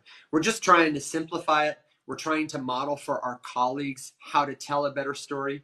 And along the way, learn a little more ourselves. So it generally is that we talk about the news a little bit. We might talk about the projects we're building. We might talk about the projects other people are building, but all of it is oriented in the direction of uh, furthering that understanding collectively together. And I do see we have one or two other questions that I would like to address about how crypto isn't just the stock market, yep. etc. But first, I gotta say hello and good morning to my friend Kip. Kip, how you doing? I like your glasses, man. They look good. You look you look like you're about to write a sick like beat poet novel in 1960. Actually, I'm writing a book, so let's let's let's let's just no. Let's But anyway, do you guys want to hear a glasses story? You'll appreciate this this morning about something. I think you'll appreciate it. It's just a slight diversion. Um, Okay. so my eyes have been really hurting for like three years, and I've noticed I was stopping wearing my glasses, and um, these are actually reading glasses, but I finally was like, I don't know what's going on. And after three years, I go to the doctor and uh, the optometrist, and he says, Hey, your left eye is tracking at this level, this horizontal plane, and your right angle, right eye is tracking here. And so your eyes are constantly fighting to try to figure it out. He says, Are you are you exhausted all the time with your eyes? And I go, Yeah. And he's like, You have a thing called prism. And, and and this is what I think is funny. For being so damn smart, I am so stupid. I can't even tell you because I finally got reading glasses so I can actually see stuff and distance vision glasses, and it matches up the alignment of my eyes. And and with the proper prescription, I'm like, oh my gosh, a whole new world. And I'm like, I don't know, man. It's just funny that I would wait three years to spend fifty-two dollars. You know what I mean? yeah. Seriously. Anyway, so Well, hey man, get your they eyes look checked, good. keep on it. That's my my social advice for everyone today. Um, can I give you guys a quick question? Please. absolutely. Yeah. So um, I thought of something really interesting, and this isn't something I don't think you're gonna have time to answer on the show. It's more for Evan and you guys to ponder and everything, which is is um, I've thought a lot about the philosophical approach on money and all that kind of stuff. You know what I mean? And it's been my experience that if people aren't dealing in money, which we have a difference of beliefs, and that's okay. I just view it as something that has allowed people to not only trade with their group, their clan, but to stretch out all over and to include. So I see money as very inclusive because it includes people all over the world, wherever they come from. Um, and whether there's flaws with that, that's something else. We can talk about crony capitalism, oligarchy, all that kind of stuff, which we probably agree on. Um, and what I find is, is that if people aren't trading in that realm of money, and I was trying to assess, Evan, you know, your kind of approach, and, and I, I think what you're trading in is in the currency of community. It's something that I think is um, an interesting philosophical idea of like, you know, your value, your power structure, what you're getting, the way that you're seeing the world is through um, creating community on a decentralized fashion, which is, I don't think there's anything wrong with that per se. You know what I mean? I'm not making any judgment either way. Um, but do you think that resonates with you on, you know, the currency that you're looking for isn't even blockchain, isn't even decentralized, isn't even that. It's trading in the in the concept of what if you were to have the currency being your social standing within a community um, based on the good that you're trying to do. I think I agree with that a lot. I personally would use, I, I don't know if community is as close to the heart of it as maybe humanity is. What I often say is that currency, dollars and cents, is a really clunky way to measure all the value of a human being, summed up by things like your experiences, your relationships, your community. I think I think community is much closer to that idea, uh, even than currency. But uh, yeah, no, I, I think that's interesting. And for people who don't know, I am really interested in blockchain. Is not the thing. Uh, blockchain is like the vehicle, the tool. One of the tools I think that can help humans reorient their systems of value. The same way you would reform like the education system. School is the vehicle through which we deliver education commonly now in 2023 but it's not the only way to do it. Uh, community might be a vehicle for that too. So that, that's what kip's talking about. If you're not hip to that I'm, I'm interested in that conversation. And i think that's a i think that's a great way to say it kip. And good food for thought Yeah, I was just giving it some thought and everything, but um, yeah, I, I really ap- I appreciate what you guys are doing because one of the things that has kind of brought that up is is is I've done a deep dive into gaming, and you guys know how really remedial I am on anything technology, including waiting three years to get a proper computer and all that kind of stuff and everything because it took me 18 months to buy a black and white printer you know what i mean? So this is what happens when you rejoin the world. It takes a while you know? But but i was going to say the um, the thing that i found that is very interesting is and i was thinking about your token approach and everything is um, i'm starting a project with some young kids which is a gaming project for and this is just kind of being blunt about that but really unhealthy gamers that are sitting around drinking processed crap and stimulants and all that other kind of stuff and saying, hey, you can still do the gaming thing, but we're part of a community that is getting extremely healthy as we're gaming. The concept is fuck around and get fit. So it's kind of a funny, uh, kind of a funny project that we're working on. But anyway, um, now I don't have anything more. I just was going to leave you with that idea of because I'm really resonating with the idea of of um, humanity. I don't feel that money and community are at odds the way that maybe some other people do, or money or humanity are at odds. Um, but that's just you know something that's debatable for for another time. But yeah, that's all I want to say, and I appreciate you guys being here. Awesome. Thanks, Kip. Appreciate it. The uh, I would I would enjoy hearing more about that. I like I like the concept. I think that gaming is just like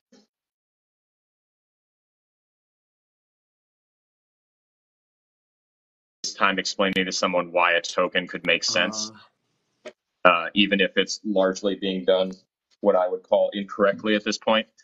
Um, which I think not it's not that the use of the tech is wrong. I think just like the order of operations is typically wrong. Uh, in that like you know token exists first before game exists and then someone like me is telling my players what the token is worth rather than me giving the token to players and letting them tell me what it's worth. Um, I think if you just flip that, then you make a world of difference. So we're like we're really close. Um, but I would say that sounds awesome. I'm glad to hear that you're that you're plinking around with that kind of stuff. and i Uh, apologize still if you if you addressed channel, any of that which you guys directly to me i lost oh, connection briefly but i oh, heard you you're back. Say it again, Kip. I was going to tell you, Alex. okay I'm gonna. I, I i do think it's funny that I will probably start a Twitch channel called um, Hell um, yeah. OK Boom, OK Boomer, where it's me playing video games. Because when when I play video games, I have had people seriously sit next to me and go, "What are you doing?" And they're like, "What are? Why are you?" And they're just getting so angry. And it's just watching me play video games because I suck so bad that people can sit there and just heckle me 24/7, which I think would be funny. Oh, for sure. Yeah, that's probably would that sounds funny great. Um, Yeah. Gaz has been super patient. I want to hit this question, Evan, really quick because I think I think it's one we yep can can cover nicely. So, uh, for anyone who recently joined, the question was, how is any of this different um, from the stock market owning stocks? What's the difference between owning a token and owning a stock? Um, which I think is great because even still to this day, I see a lot of like Web3 content creators comparing um, like you know buying a, a coin or a token to participating in ownership of a company and, and buying a stock um, couple key differences the biggest one is legally you're not entitled to anything if you own a token. Um, so it's a it's a different sort of idea. It's not the same vehicle right? Like when you buy stock in a company you're sharing in ownership of the company and then that affords you certain benefits. So in that case you know ideologically they're similar because theoretically, when you buy a token, you're being afforded benefits.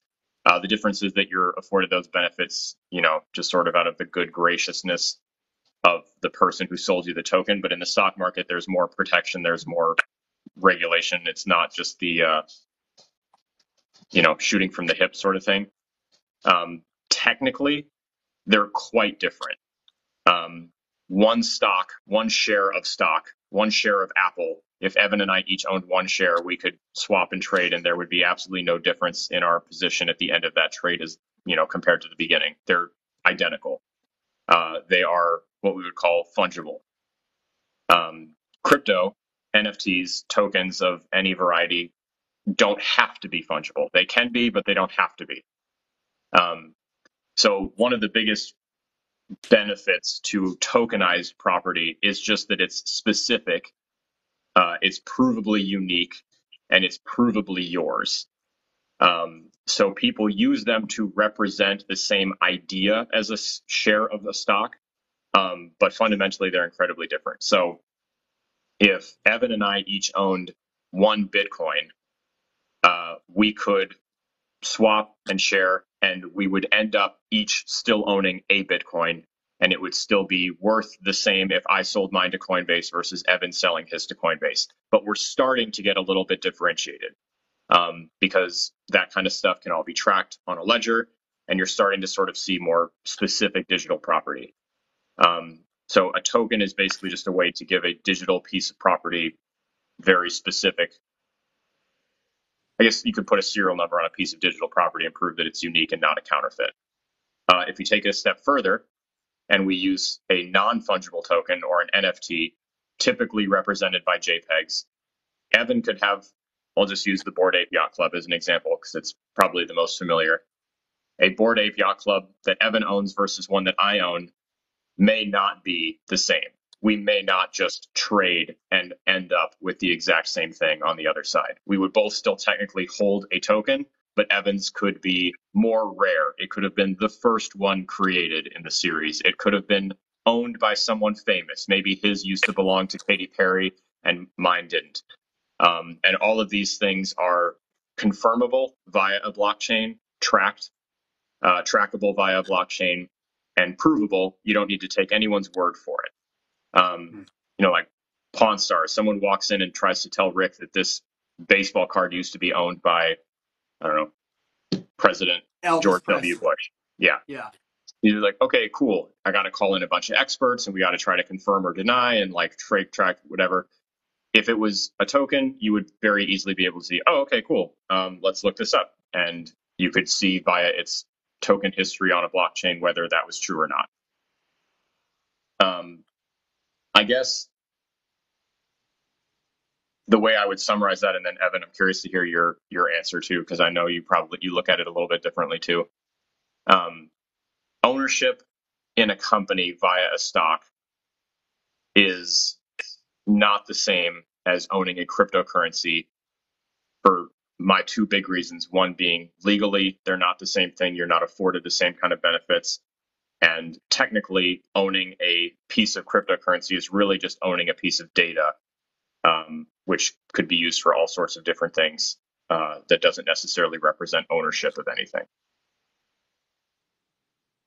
Yeah, I think I think I don't disagree with anything you said, um, and I would be curious to get everyone else's thoughts here too. Um, but the distinction I really want to make is Alex talked about ownership and rights. While, while stocks represent solely ownership in a company, cryptocurrencies can represent any number of things. In fact, the name cryptocurrency, I think, is really unhelpful because the, the other part of your question is why do they have any value? Cryptocurrency makes it sound like every crypto token is money. But the truth is that most cryptocurrency is going to have little to do with currency someday the way that your smartphone has little to do with making phone calls the innovation of cryptocurrency is that because of the blockchain as alex said which is immutable meaning it is a perfect record that cannot be written over it is rules based it is often public totally transparent these kinds of properties as well as the ability to distinguish one thing from another online, they're totally novel, totally innovative. They are a different form, a different medium than stocks. The analogy I like to use is that the same way a piece of paper can be the backdrop for a poem or folded into origami or become the coaster for your coffee cup, cryptocurrency tokens can be a medium for money, for identity, for story, for commerce and exchange between people. And all of it is up to you. It's like silly putty that you can mold. And so the question of what it is is first of all different. But in terms of value, different cryptocurrencies have different value. Something like Bitcoin, which has a monetary value, has a value based on its limited supply that nobody can control or change, um, based on its decentralized nature, based on the demand for it among how many people control the network, um, how distributed and secure the network is. There are a variety of factors. Whereas a non fungible token, like the Bored Apes Alex described, or like the token that holds somebody's memories, a record of their voice, they're going to have different value based on what they represent. If I made a token that had my voice on it, you could talk to, ask questions, that would be really valuable to me and probably to the members of my immediate family if I were to die. Um, but it wouldn't be valuable if you just listed it on eBay because nobody knows who the hell I am. If you made a non fungible token like that of Elvis, that was the provably unique digital copy of Elvis Presley issued by, you know, Lisa Marie and Elvis Presley Enterprises, it would be much more valuable because Elvis's story is more valuable to more people. It's tough to quantify, but uh, that's why we need technology like that because that story is valuable and its value can't just be measured in dollars and cents. Um, and we could go on and on and on, but I think in a nutshell, like Alex likes to say, that that that's a good answer from me. Um, yeah, I feel like Sandra or, um, or Lisa, do you guys? Have, oh, I'm sorry, Alex. Go ahead. just as as I'm as I'm chewing on it, I would I would say that maybe a better way to think about it is that owning a token. Now, I'm a little bit of an idealist when I say this because it's not the way that it currently works all the time.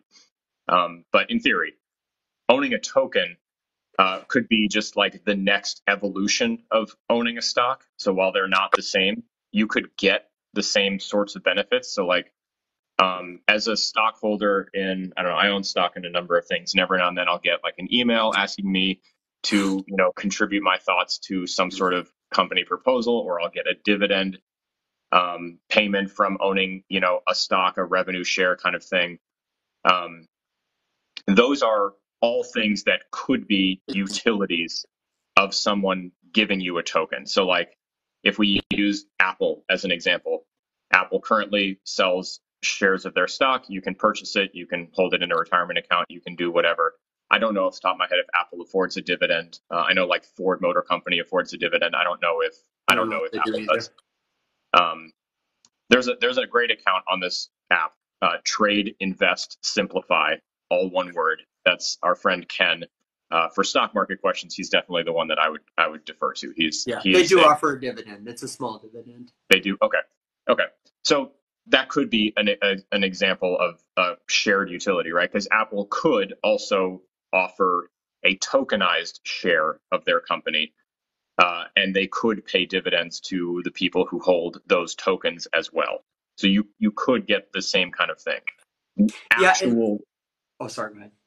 just the actual thing itself would just be different because one share of stock, right, is not like provably special. A share of stock is a share of stock. It's tracked however it's tracked. Uh, tokens are tracked differently, so they add different potential for better security, better proof of ownership, um, all that sort of stuff. The an analogy I don't know. This might be a weird analogy, but like, um, whereas if a company was a pie and the shares would be pieces, um, the token, the tokenized version of that would be in addition to it being a piece, you could see exactly who owns the piece, how long they've owned the piece for, how many other pieces of other things that same owner of the piece owns. Uh, it just it adds a lot more layers uh, to the depth. You could I tell the guess, of that ownership. Even Yeah, if you all the pieces were exactly the same size, looked exactly the same, tasted exactly the same, you could tell them apart. Yeah, you could tell all sorts of. I mean, any any basic detail of differentiation that you could hear or that you could figure out, you could you could be able to tell who owned their piece first, how long have they owned the piece for, have they owned this one piece for the whole time, all that Yeah. sort of stuff. And this is this is what I wanted to add is that this William Quigley said it and I stole it and I say it all the time is we often talk about this as digital money, digital assets. The distinction is we have had digital money since we introduced checks, since banks started keeping a record of money on a ledger and stopped printing dollars for every dollar they Fifty plus years ago. a long time ago. We've had debit cards, credit cards, all of this electronic money. Most of the money in circulation is digital. But the difference with cryptocurrency as currency, but also cryptocurrency as informational assets, are that these assets are digital and tokenized, which is the quality that allows us to tell them from one another. Even your digital dollar and my digital dollar, no one can really tell them apart. It's up to a bank to maintain that record, and they rely on human intermediaries to do it. But now, using a blockchain powered by a smart contract to distinguish each piece of data as a token or non fungible token allows us to do that. It is totally innovative. It's it's never been done before in any other form, and that more than anything else is why tokenized money is a revolution, but also why tokenized information is important.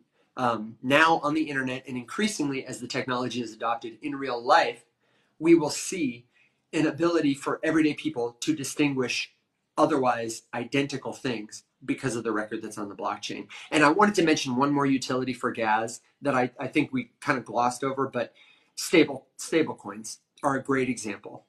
A token that is backed by or paired some other way with the price of a real world real world uh, fiat currency like the U- US dollar. There's a token called Tether, for example, which is backed. Every Tether token is backed by a US dollar, which allows the Tether token to maintain price parity with the dollar. And In so theory. now somebody, I'm sorry? In theory, they're all backed by U.S. In dollars. theory. And, and I think there's actually pretty good documentation in Tether's case. I haven't seen the money myself, but to to say that it is it is on par. They say that publicly. Pretty so good, yeah. if they're lying, you know, we'll find out one day. Um, Yep. It's on the blockchain, um, but uh, but that allows for a currency like the dollar to take on some of the additional utility that a token would provide, like seeing who owned it, seeing where it's been, with a lot more effort and ease than can be done with the U.S. dollar. You know, the the number one tool for money laundering in the known world. True. So true. I, I think we took that question out back, gave it a severe workout, and then uh, you know kicked its butt a couple times. Um, but I don't know, Sandra, Lisa, Kip, if if you all have anything to add to that question, which the original question is, why does this stuff have any value? What distinguishes it from stocks? Is it not just a digitally coded stock?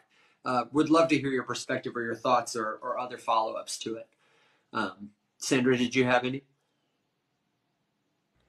I think it has to do with your perspective and value, you know, because I mean, it's like I look at a token or I look at a cryptocurrency, they're different because it's what I get from them or what I give for them. Um, I can say that, you know, a ownership, I can show that it's mine by looking at the computer on the blockchain or looking through the documentation that's behind it, uh, like you call a smart contract. Um, it's more or less it's money, but it's not money. There's value, but it's what value that I put on it. Like you were talking about the bored apes. If and we can say Elvis Presley. If Elvis Presley or, or owned a board, a yard what a bored ape. Sorry guys, I'm sick. but oh, if it's okay. if if Elvis Presley owned a bored ape, that bored ape would be worth thousands and millions and millions and millions. If I owned this board a ape and it wasn't the same one, you know, people may give me a dollar for it. So, you know, it's the value of what people see in it. You know, like people value stocks and they see that as an asset. Well, I see cryptocurrency and blockchains as assets. Yeah, absolutely. Uh, something that I think about often is Moore's Law, which says that the value of a network is primarily defined by how many users of a network there are. And I think Bitcoin is a great example of that. Bitcoin is the largest computer in the world in terms of it is a distributed network across thousands of machines that millions of people use. I think it's millions of people uh, at last count. I'd have to double check for the updated ticker. But that makes it valuable no matter what the price is if people are using it. Uh, you know if, if the price of the dollar tanked but it remains the world's reserve currency uh, that's one of the reasons it remains the world's currency. It remains so stable in value is because so many people use it. I think that's a great ad. Also, well met. Go well, ahead. also, also you can look at as when you're talking about all these different nodes, all these different people, it comes down to who's running the show with stock markets, you have one or two big people, one or two companies running the show, and the value is what they put on it. And when you look at decentralized or you look at cryptocurrency, yeah, some of them there may be one or two people, big people, but most of them it's collective. It's a collective. yeah that's a great way to say it um, i gotta say goodnight to my friend jim shout out to the people who watch the show at three in the morning you're crazy but we love you um, kip did you have a thought on that I, i'd especially love to hear your Yeah, I wanted to who's actually, I you know going to toss often out an idea, uh, which is what's what's that? often often you bring a different perspective to it that I really appreciate. Yeah, I think I think a thought that I would say about the dollar as the reserve currency is I think that's a common um, I think it's a common conception for people to say, well, it's because most people use it. That's where it has its stability. That's where it has its value. I have a different point about that. I actually think that the dollar is more like a token in the sense that people are saying, okay, what is that dollar representing? That dollar is representing this country. And so if we're looking at uncertainty in the world, we go, well, where do we feel like a country is going to have their stuff together at greater or lesser extent? And which tokens of which countries should we be investing in? So I don't think it's simply a matter of, of usage because everyone's, you know, people talk about, I, I, I meet people from all over and they're saying, hey, the dollar's reserve currency is going to collapse and BRICS are going to take it over and blah, blah, blah, blah, blah, and all that kind of stuff. But I, I don't think it's that simple. I think there's always going to be competition for, you know, if you were to look around and say, what country would you say has the most stability and the likely to go on, and which tokens of that country would you want to be buying, aka the, the, the reserve currency of the dollar? So I think it's a little bit more than just the utility, the number of people using it. I think it's also of like, well, what is the foundational thing behind it? It does that have any merit? That's all I was going to add. I think that's a great addition, and I I agree completely. It's a proxy. It's a symbol. Even the token is, you know, it's just a symbol of something else. Um, Gaz asked as a means of clarification. I asked, uh, what if you build a currency and after your initial buy-in you abandon it? I would say to that, um, what if Elvis Presley becomes a hit recording artist? Everyone in the world adores him, and then he dies. What if Michael Jackson becomes an icon, and at the height of his fame, he dies? The answer is not that the story necessarily dies. I think the story or the idea, ideas are bigger than people and can live on beyond people. I think if somebody starts a currency and the currency is entirely dependent on them, on their effort, then that currency will probably die too. I think if enough people above and beyond them, you know, change it, run with it, live with it, etc., that it, you know, like any idea, can take on new life, is my thought on that. It, it can even increase it, Evan, I agree. because, um, for example, I collect some books and um, I have every single first printing, first edition of William Gibson's books. He wrote Neuromancer and all that other kind of stuff. Signed, authorized, proved, and copy in mint condition, every single one of his books, because I think it's something to think about, which is after he dies, people are going to be like, wait, this guy invented terms like cyberspace and all this kind of stuff and pushed forward these ideas that have shaped quite a bit of stuff. He's one of them.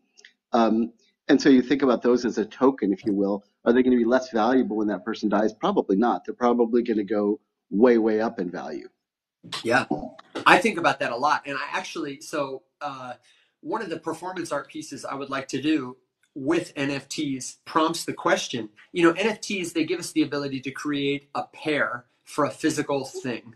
And especially in the case of stuff that's ephemeral, I think that could be potentially valuable. For example, if I, I don't know, had a pint of blood, um, a pint of blood is not really a valuable thing, but it represents the life force. It represents the, you know, the ability of a thing to be alive. Uh, if I had a pint of blood that I could sell you, or I had a token that represented the pint of blood, which one would be more valuable? The blood is the thing, but eventually the blood is going to pass away. One day you won't be able to touch it because it won't physically exist. But that token is, as long as the blockchain is alive, going to exist. Hypothetically, it could exist forever. When a thing is ephemeral, or even if it's not, is the token more or less valuable? Is the token a good proxy for that thing or not? I, I think that's a really interesting question. Very situational. Because in that context, absolutely not. I can I cannot transfuse the token and save anyone's life with it. No, but when the a hundred years from now, you won't be able to transfuse the blood either. But if the blood is Elvis Presley's blood, and eventually it's going to degrade, but I hold the token for the blood, you know, is it valuable? But, but then it's valuable in a very different sense, right? Like a as a weird piece of collection, then sure. However, you could probably preserve it if that's the thing that you cared about. I know that we're chasing like a weird analogy here, but yeah, yeah, it's a super weird analogy. The, but the I, utilitarian case for those two items is so vastly different that it's it's a weird example. Of course, it's but it gets at the underlying question of what is value. Is value only defined by utility, or is the marker of a story. I, I, think the interesting thing about tokens is they, like words, they can give a tangible form to intangible things. For and sure. therefore, if you're a story, whether you're, you know, Taylor Swift or Elvis Presley or The Lord of the Rings or Fortnite, the more people care about your story, the better it is for you to have more markers of the story that people can touch and collect and share and sell and hold on to and whatever, whatever, whatever. Um, you know, the, the bricks in the temple. I, I would say just in response to Gaz's previous question with regards to like what if you started something and then abandoned it? If you if what you started was tokenized, you know, you launch a let's use the classic form of an NFT project that launches something and then walks away, which we've seen happen many, many, many, many times. Um, rug pull. You could you've we, we, we've seen those tokens survive and also not survive. Um, so technically, yes, the token would continue to exist. Um, and then other people who own them could decide to do different things with them, whatever. Uh, obviously, this concept is a scam because essentially what you're doing is selling someone the promise of the thing and then taking away the promise and leaving them with the thing, which one could then argue becomes useless, um, or at least not useful in the context that you were sold it in the first place. Um, obviously, there's more nuanced uh, differences as well. Like, you know, most of these NFT projects are hosted somewhere centralized. And so the host could remove the JPEG. And so all of a sudden, everyone's tokens appear visually blank. Um, the token itself would obviously continue to exist, uh, but you know its purpose, its its representation has completely changed. So in general, I would call the situation you're describing a scam, and the person who's responsible for perpetrating it should be held accountable. And luckily, we're seeing more and more people who do things like that do be held accountable. Um, you know, we're uh, there's a, there's been a few that have like I mean gone to trial, have resulted in criminal charges, all that kind of stuff. I think those things are looked at up front as being like bad for the NFT space. I would argue that they are good for the NFT space because NFTs as a tool are really, really cool and they're just being used by shitty people. um, in many cases. And so the more of those people, the bad actors you get out of a space, the better the space becomes. Um, there was a couple other like follows. Isn't the NFT market declining? It absolutely is, just like the entire market, because it's a bear market and everything is declined. Um, but NFT specifically, I think we're just seeing, you know, the ones that didn't have a good plan, weren't created with a sustainable foundation. You know, those need to go the way of the dodo, just like many, many, many other cryptocurrency projects are as well. Um, you know, a lot of them were not started with any business model in mind other than sell token, token go up. Alex, Those I have things to ask you a declining are a follow-up good question. thing. Do you mind really quick? I'm sorry. No. No, Because every time you say something, there's gold there, and I'm like, okay, wait a second. So if the entire crypto market is a bear market, from my analysis perspective, I would think if there's a flight to, you know, flight to quality going on right now, and this is what we're seeing with a lot of areas and everything, you would think that many crypto projects would be on an upward trajectory as people are like nervous about other options, et cetera, credit crunch, all that other kind of stuff. But it's been my experience that people are, are using pretty much gold and Ethereum as the gold standard to, you know, for a safety mechanism. So when you say the entire thing is in a bull market, I'd like you to address why you think that is. Because I have my feelings, but why do you think that is? uh, well, just because at this point we are very closely paired with just the general economy, the general. I mean, it, the the crypto market is very much tied to the stock market because every single one of them, uh, for the most part, is just looked at as an investment vehicle, whether that's accurate or not. They're all kind of generally treated the same. Uh, so if the general global economy is suffering, crypto suffers as well. They're they're very closely tied. You see a lot of people talk about like the allegedly incoming decoupling, uh, where these different crypto projects would be treated individually, um, the same way that like you know I don't know housing prices are going up and eggs are going up and gas is going up, but something else is declining, you know, because they're not looked at as being the same thing. I would I would say that eventually we'll get there, but right now, you know, with it being as tied as it is, it's just sort of the general, you know, if you if you compare the last bull market and what the equivalent US dollar value of these various cryptocurrencies was, we are dropped significantly from that in every single case. Um, maybe there's one or two examples of of a, an exception to that, but generally, um, so me saying bear market just means the prices from where many people bought all of the stuff that they are currently holding and waiting for the comeback on is just way lower than Yeah, and I would add, I agree with everything Alex said. When I personally talk about it, I also am talking about public perception. So, in what I would call it, I would call it a bear market when the public's perception of cryptocurrency is far below what the technology can actually do. What are people talking about right now?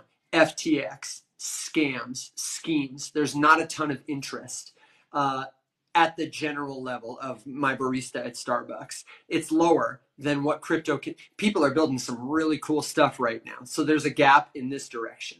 And I would call a bull market a time when it's the opposite. When my grandma, when my waiter, when kids at school are talking about NFTs, cryptocurrency, how can I get some? It's going to change the world. It's going to do this. It's going to do that versus what it's actually doing. So I think about it in terms of public sentiment too, and what's realistic versus what's being discoursed.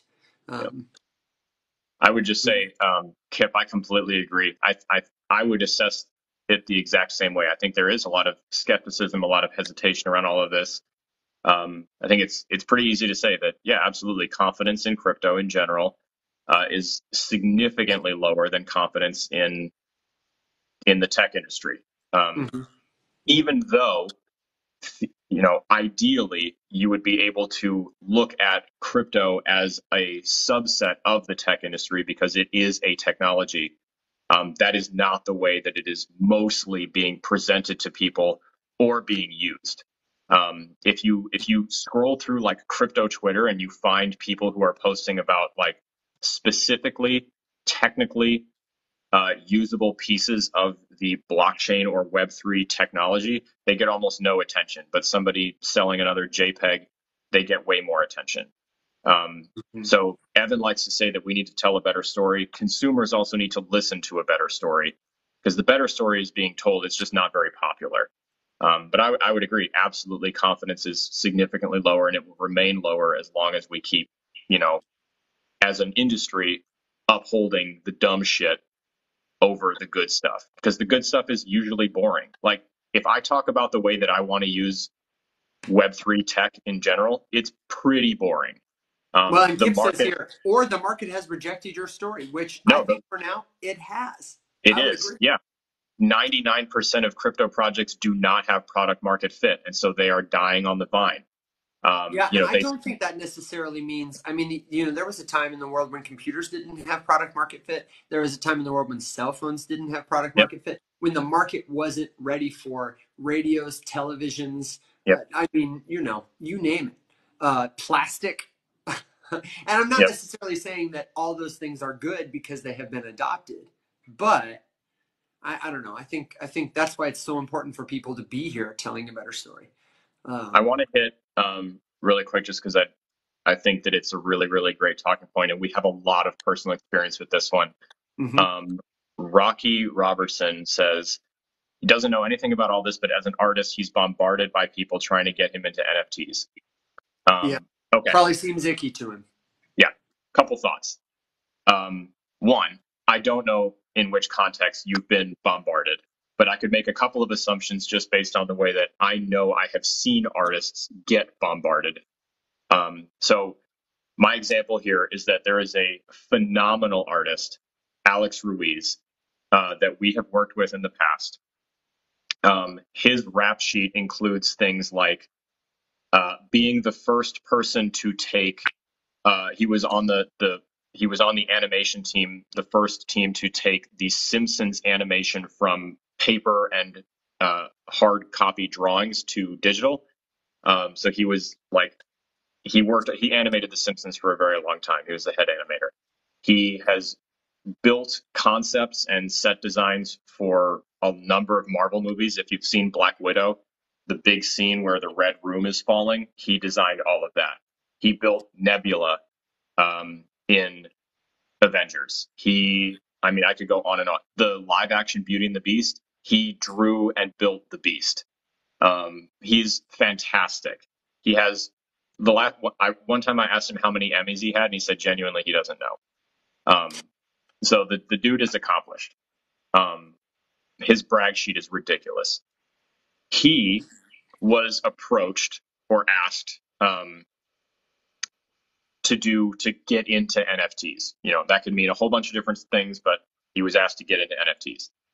Uh, so he flipped the question on his general audience and just asked, you know, like, what would you think if I participated in NFTs? And overwhelmingly, the response was negative. So he didn't do it. Um, and actually, his manager and his agent and a couple other people on his team told him that if he got into it at all, they would all quit. Um, so he abandoned the idea for a pretty long time. And um, I, I don't know, um, Millie, if he's worked with Disney. I would assume that he has. Uh, he he's not in the industry anymore. Um, I think the last big project that he worked on was was Black Widow, um, but I'm not positive about that. Um, anyway, I think that generally artists are being pitched the idea of an NFT as a way exclusively for them to make more money because NFTs were hyped up. Um, and they were like, hey, listen, you're an artist. Uh, you should just be selling this in a different way and making more money. Um, I do personally, as Alex, believe that every artist on earth should be using NFTs, not in that sense, uh, just because it's a better layer of security and protection for you as the artist and for your um, your your audience, your your buyers, your collectors. The example that I always use is that I have a painting hanging in my living room, um, painted by an artist, a Miami artist called Create. He's a graffiti street artist. And when I bought it, it came with a packet of paper, um, uh, an appraisal from the gallery, uh, a certificate of authenticity, a letter from the artist, um, him saying how many copies of this painting he made, uh, and you know what number in the series this one is. That packet is essentially the NFT, uh, and it's just a lot easier to use a token than it is to use the fat packet of paper. Now, but Uh, tell us why. Because did you see the comment that he's not a digital artist? Rocky is not. Yeah. So, like, why? Why is a token better than that pack of paper? What's wrong with the paper? It seems perfectly good. the paper is a million times easier to lose, destroy, or counterfeit and fake than the digital counterpart, the token, is. Um, I've seen a lot of physical artists who do not use any digital um, methods whatsoever use NFTs effectively uh, to protect their artwork and protect their buyers. Um, I think the most common use use of that would be with an NFC tag. Um, I know that artists, um, I've seen a couple artists either embed the because the chips are really really teeny tiny. Um, you know, embed those in the frame or embed it in the canvas and paint it, um, all that sort of stuff. You can attach an address or a token to that NFC tag, have it read it, um, and basically just kind of refer you to the packet of authenticity, uh, but the tokenized version. Uh, and it's impossible to counterfeit that. So if you truly wanted, um, I would use the same, you know, the the Pawn Stars thing. If someone brought in uh, a Jackson Pollock, uh, you would have an art, you know, expert come in and examine the painting and try to determine authenticity, and then look at the certificate and be like, well, you know, this looks like a legitimate signature. This paper is approximately this old, and this whatever. There's a pretty good chance this is legit, or there's a pretty good chance this is not legit. Whatever the determination is. Um, it's a fee thing in a second. You can- Oh, I'll get to the fee thing in a second, Robbie, because or Rocky, because you can do it yourself um, very easily. The um, you don't need to pay anyone to do this for you.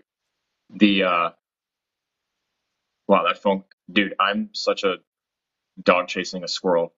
Like my we're phone talking rang and about I we're, ta- we're fell talking off my about the train. benefits of tokenization, the distinction between tokenized Yeah, for physical or digital, and the benefits. You were you were about to talk about uh, talking about chips as a way to do it, that kind of right, thing. right, right. Um, so the the appraisal idea, it's it's way easier for you to use a a token uh, with an address. So like, let's say that you, I don't know what your medium of choice is, but for the sake of conversation, say you're a painter and you've painted um, you've painted 30 paintings and you'd like to sell them as a limited run series. Uh, you could put an NFC tag in all of those. You could go to one of the like free open source um, NFT creation platforms and you could mint yourself uh, a series of tokens. You don't even need to attach a JPEG to them uh, at all. You certainly can if you wanted to like attach a photograph of the picture uh, or even just a letter from you or whatever. Uh, but you don't need to. It could be just a blank token, which is essentially just a serial number. Um, and then you'll get a chance to write, you know, data into that token, which you could just say, you know, it's one of 30. Uh, it was painted by me, my name, on this date, at this place, at this time. This is what constellations were in the sky, whatever you want uh, when you do it. Uh, and then store that on the blockchain. And you could have a little, you know, collection ID. This is collection number one, two, three, four, five. And that way, anyone who comes along and sees like you doing really well wouldn't be able to recreate your artwork, create their own NFTs to represent the artwork, and then also sell it uh, Now, theoretically undercut you. I just want to add that this is about as technically difficult because you said you're not very technical as creating and send creating an email address and sending a couple emails or creating a Shopify storefront with a couple of clicks and then adding products to it. You could almost certainly find a tutorial on YouTube for how to do it and set it up in an afternoon. It doesn't have to cost you anything. And like Alex said, it can be as intricate or not as intricate as you want. And the other real quick clarification I want to make before I kick it back to you, because I knew you're going to clarify something else, is we talk a lot about digital, digital, digital. But again, I want to distinguish digital from tokenized. When something is tokenized, we are creating a record for it on a blockchain ledger that Alex is right cannot be faked, cannot be forged, and can be paired with any asset, whether it's digital or physical, in such a way that even if the assets are totally identical, like you're making a copy of a print, for example, we're not looking at does this one appear to be the same as this one? Are they are they you know it, like a forgery would be? You know, the Mona Lisa. Which one is it? There are whole movies about that. The record on the blockchain is what we're looking at, and anybody with no specialized experience can tell in an instant which one is real, which one is fake. And like Alex said, you compare it with real world technology like an NFC chip so that a person who scans it gets to keep the NFT. You can protect it and secure it in a number of ways with two factor authentication, whatever, so that it is better than that certificate of authenticity, which could be pretty easily forged even by somebody who's not an expert. And the last thing I'll say is that Lisa pointed this out. The, the thing that controls it all, the smart contract, can make it so that everybody in the future who buys that piece will have effortless certainty that it's authentic. And when they buy it from one of your collectors, that person is going to have a hard time if they're buying a physical print in the world now without an NFT. That person's not going to call you and say, hey, Rocky, brother, uh, I've got a royalty for you. Where do I send it? But the smart contract that facilitates the sale, if you want to collect a royalty every time that piece is moved or sold, it's gonna it's gonna do it automatically for you. You're gonna wake up one day and see that the piece has been sold. You'll know exactly who sold it, how much they sold it for, who they sold it to, and you're gonna see the royalty waiting for you. So it, it does a lot to protect you. Yeah, I just there's uh they they can do a lot to protect you, the artist, in the same way they can do a lot to protect your collectors and your buyers too. Right. Um, because you, the artist, are not the only one who gets screwed if someone wants to capitalize on your success by counterfeiting your work. Mm-hmm. Yeah. So I think that unfortunately, the big misconception that a lot of people have about an NFT is that it needs a visual component attached to it. Uh, it doesn't. Um, it's you know, there's nothing visual No, about Bitcoin. and and Alex, Go it could ahead. be it could be it could be um, musical, video. I It mean, people think that it could be it's only just one thing. yeah, it could No. be could be absolutely anything. And it could be Um, many things. It's like a file folder on your computer. There's lots of stuff inside. One day you're going to have an NFT like that represents your identity. It might have a copy of your driver's license. It might have memories, photos, voice yep, recordings, moments. We we issue POAPs, which is a proof of attendance protocol NFT that is is purely a marker that signifies, as Alex said, that you did a thing. You showed up to the Rise Up Morning Show on Thursday, October 1st. You get a POAP that verifies it, and that's what the token represents. So really, it, it's a medium. It's a whole new medium for meaning and making things that don't physically exist tangible. yeah. It's it's the the technology in general has been done dirty by the large scale attachment of JPEGs to it and the association of the JPEG with the NFT. Um, but that that kind of stuff is meaningless, right? Like, you know, if if I if I the creator of an NFT project wanted to sell a bunch of cartoon monkeys, I could come up with 10,000 pictures of them, attach each one to an NFT and sell them to people, and then delete the image hosting that I have stored on Amazon and change all of the pictures over to pictures of dog poop that I took on my walk around the neighborhood. And all of a sudden, you have literally just a photograph of a pile of shit attached to the token that you bought instead of the cartoon monkey uh, or whatever. Or you could just delete the picture altogether and it would just be a broken URI uh, you know, linked to your token. Uh, I could stop paying my AWS bill and it goes, it, whatever, AWS crashes and everyone's JPEGs disappear and all they have left is a token with no visual component to it. Um, you know, the, the, J, the JPEG thing has done NFTs in general very, very dirty. Yeah, I, I think Rocky, you you would do well to just spend a little more time learning. Don't feel overwhelmed by it. It is a lot. Uh, if I were you, one of the rabbit holes I would go down if you're an artist that you might enjoy is uh, checking out PAK, P A K, Murat Pak, M U R A T P A K on Twitter. Uh, just do a Google search and you can start to understand how NFTs as a medium for art extend beyond like literal pieces of art. How the blockchain, the tokens, the smart contracts themselves can facilitate new types of art, new types of performance. One of my favorite examples that goes right along with what Alex is saying is uh, Pak did a performance where they distributed all these tokens um, and they wrote the smart contract in a way that many smart contracts are written where the person who authors the contract who launches it retains control over all the tokens. And they used it to demonstrate a point that even still a lot of people don't understand. At one point after the tokens had been distributed Pak called them all back into their own possession. The people woke up one day and the tokens were not at their address on the blockchain in their wallets anymore. Pak had them all back again and used it to prove the point that if you don't if you don't write the smart contract in such a way to give control over to the person who holds that token, then you know they don't own the token. If the artist owns it, the artist owns it. If you own it, you own it. Um, we say in, in crypto, not your keys, not your crypto, meaning uh, yeah. if they're not at your address, you don't own them. Um, all so, kinds of stuff. I just because this is way too much to type. Um, couple couple quick things. Uh, Rocky, I would say Lisa just shared the link to our Discord. Um, you're more than welcome to drop in there. Everything is it's free and open, and converse and learn about any of this stuff. Ask more questions, whatever. I don't need to look at your artwork to tell you that it is worth um, converting. Is not the word. It is worth tokenizing, just because whatever you create is worth protecting, uh, and that's really all we're talking about here.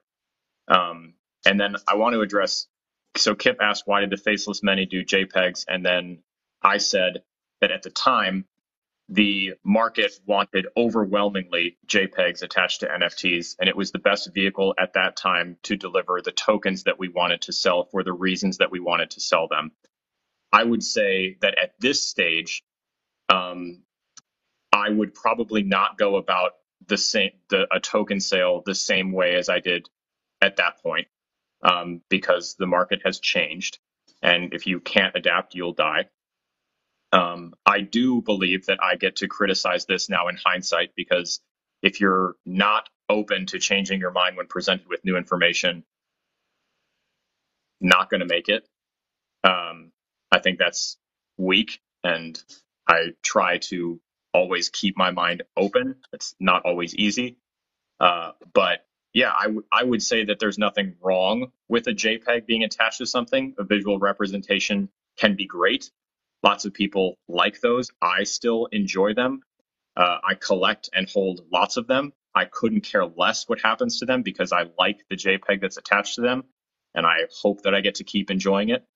Um, but you know, regardless of all of that, you know the market has changed. Jpeg mass jpeg sales of generative art no longer have the same product market fit that they once did. Uh, they would have to be way more special and have way more with them in order to get the same sort of popularity. And we'll probably never see the same kind of popularity that we saw you know two years ago with this sort of stuff. Um, none of that changing changes the existence though of our token uh, which is the thing that 8,064 JPEGs are attached to. And so one of the examples of how that doesn't matter is the game we're building right now. Uh, we can create something as simple as a website that allows you to connect the wallet holding that token to, allow the website um, via some code to check that you hold that token, and then give you an item code in exchange once a week, which you could exchange in our game for some sort of benefit. Mm-hmm. And your JPEG would be meaningless there. The thing that matters is that you hold that token. So I think the big benefit here is that if we had sold like a bunch of paper posters instead of a JPEG attached to a token, I can't even imagine how next to impossible it would be for me to track down everyone who owns one of my posters and yeah. set them up with some sort of vehicle to log into a website and claim an item code that they can redeem in a mobile app. But I can do that right now with every single one of the 2,400 people that hold our tokens without needing to do anything other than query the chain that they're hosted on and call my token address. And if I wanted to send an airdrop of another NFT, but attached to a text file that just said, hey, log in here to claim this and check this. And if you have questions, log into Discord. You could do all that effortlessly without me ever needing to know anyone's identity. I don't need to know their mailing address. I don't need to know their phone number. I don't even need to know their email address. I don't need to know anything about them. I don't need to I don't need to know that they sold their poster to their friend who sold it to their uncle who gave it to their cousin who then lost it and it was found by the girl down the street. None of that matters. And Yeah. that's the benefit here.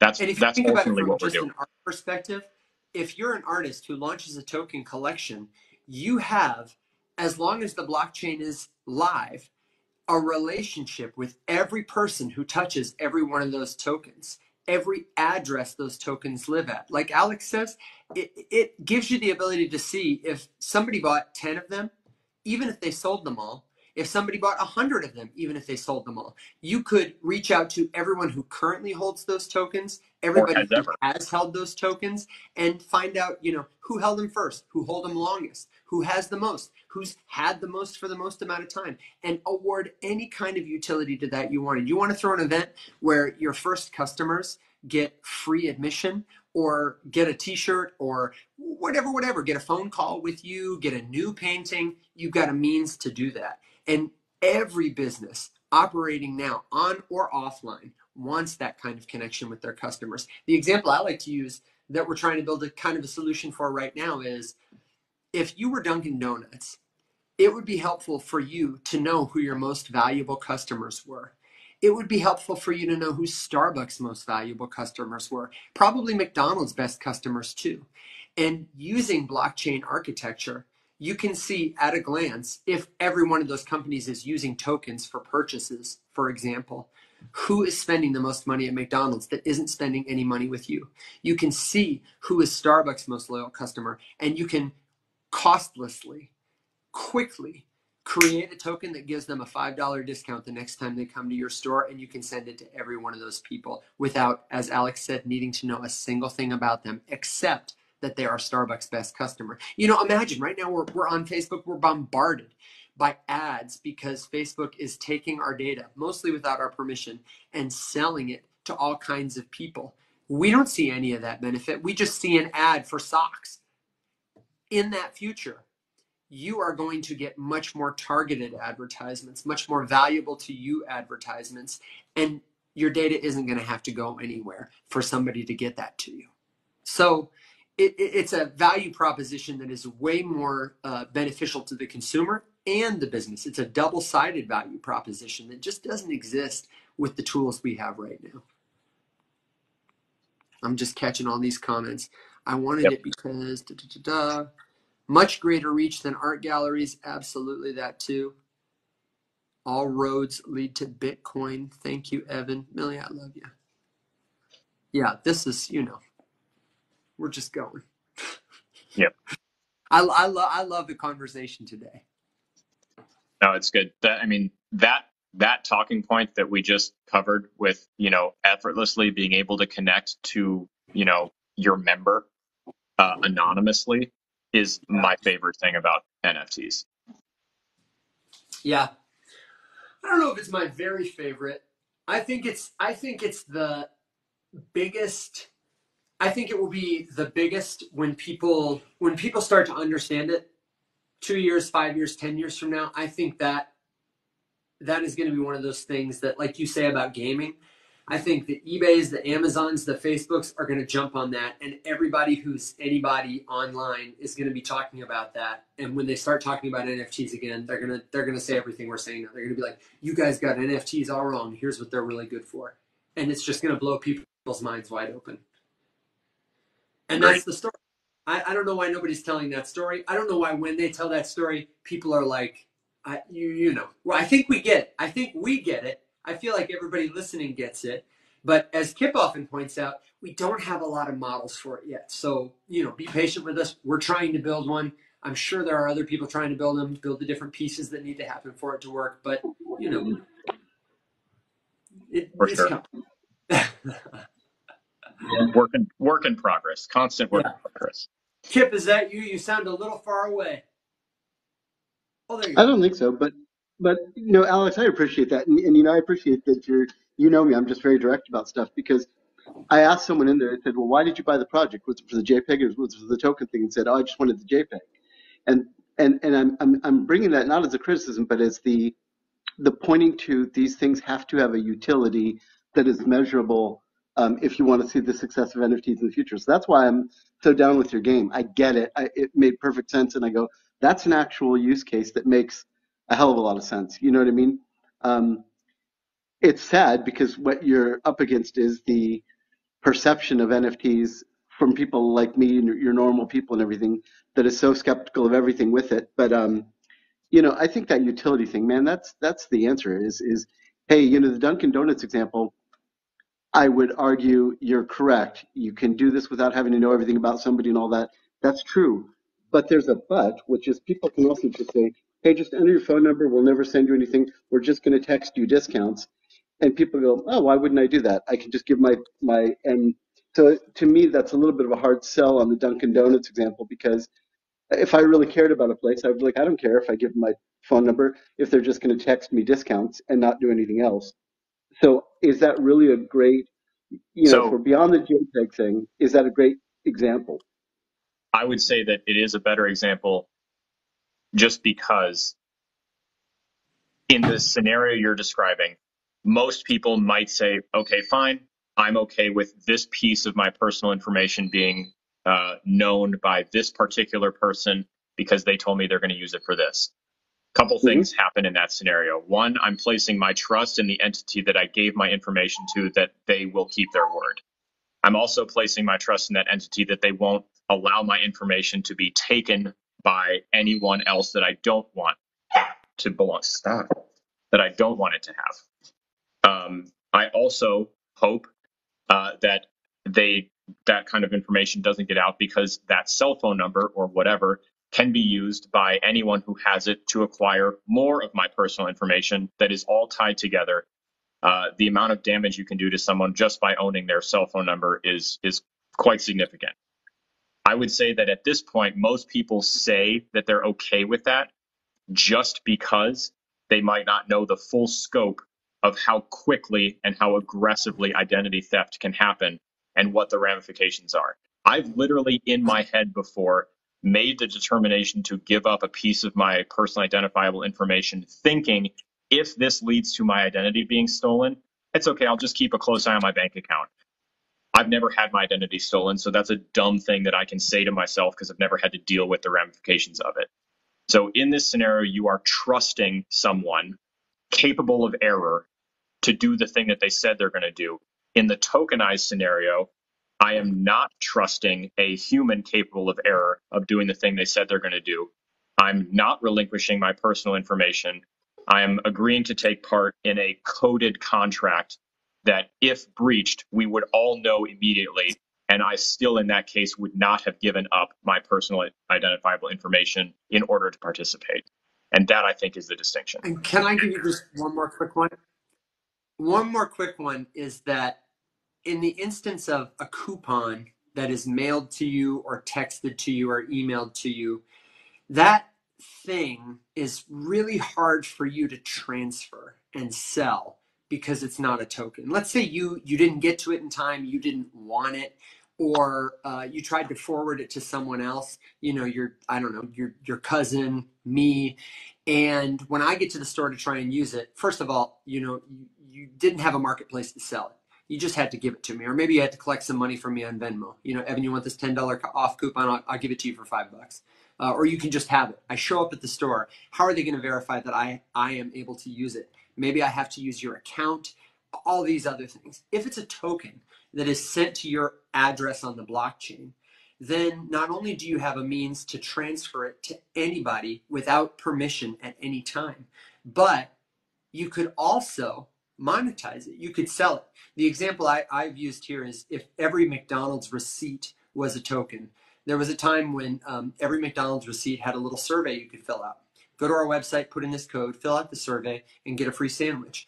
I went one summer to McDonald's every single day and I pulled receipts out of the trash can. And even though I had not in, purchased the right to redeem that receipt for a free sandwich, I ate like a king every single day because they weren't looking at uh, an immutable record.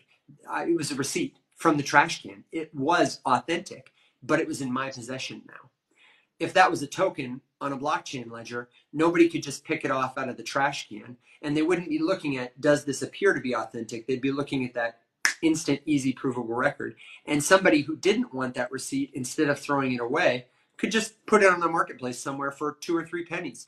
And even if it's not a lot of money, they're still earning some sort of value that in the other system is kind of left on the table or only reserved for the company. I think too, just the the last thing I'll say is I would agree that for me personally, I would agree with your assessment, Kip, that generally I'm not interested in things unless they I can see some sort of a utility. Um, but that's not a universal opinion, right? Like um, I own a number of um, magic cards that are proxies they're not legal to be played with uh, in any kind of tournament. I couldn't take them to a card shop and sell them. They are worth a couple pennies. They weren't printed by Wizards, but they were custom artists who redesigned a card that I love and then printed a proxy uh, and then sold it, right? And I have a whole binder full of proxies. Uh, I paid for that exclusively to get a piece of, of artwork that I will never use uh, and honestly, I don't even look at that much, but they're in a book, and I know that anytime I want, I can pull it open and I can check them out, and I, I can appreciate them. Um, and those people have just as much of a right to like get to something and have it be protected as much as possible as anyone else does. Uh, and your personal enjoyment, I would claim, is a utility for you and so that's kind of why I mm-hmm. like all of this stuff is it just it protects you the person. It lets you enjoy a thing in the way that actually matters to you in a secure way and you don't have to give up any of yourself to do it. And so let me bring this back out real quick and then i'm going to let you guys go. I'm going to jump out of here. Um, but in telling the story you know my, my thing is always utility because you guys know i'm terrified of the stock market. I'm terrified of crypto even though i well other than bitcoin right?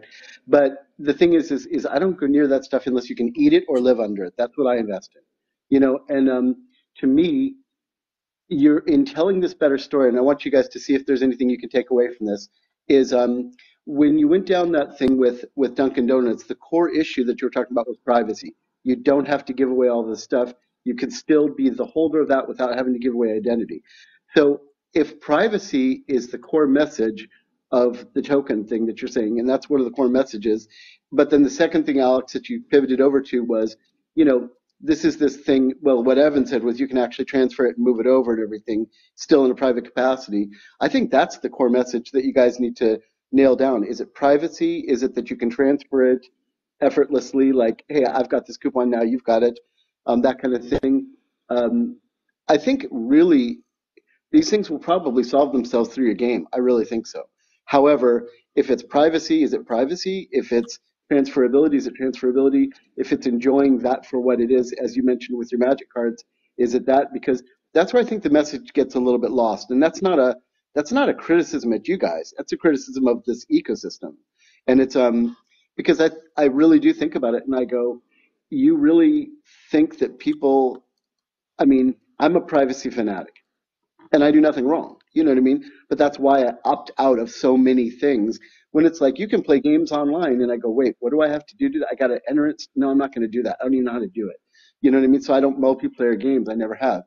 Um, because I'm like, I don't want to be on some list from company that I don't know. You know what I mean? So I've just done it by quitting. But I don't think I'm I'm your norm. I think most people just say that ship has long since sailed. There is no privacy. So why would I care to take a small specific use case about donuts to try to get my privacy back when I'm already fucked from Jump Street. Oh, sorry, I didn't. No, it's yeah. No, it's it's fair. I mean, damage that has been done has been done.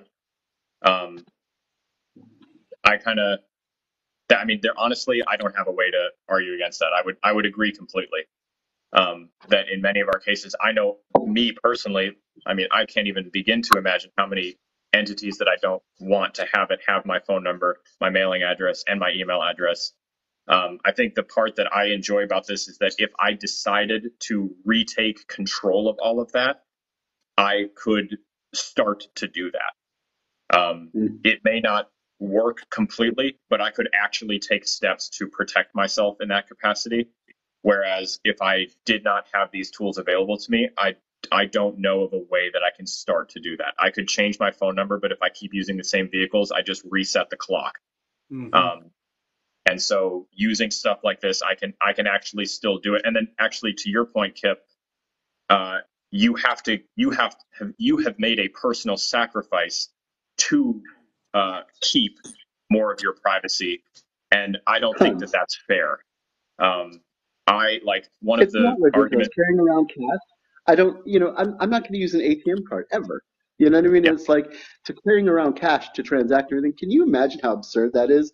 I mean, you're flying overseas and you're carrying around nine thousand nine hundred ninety dollars in cash yep, because it's under the threshold. And the games that I have to play, other than Bitcoin, because I do use Bitcoin for that answer, but it's stupid. It's absolutely ridiculous. it So. I'm I'm with you on that. But is the core message privacy? If so, I don't know if that's going to land the way you're. I don't know if that's a selling point necessarily.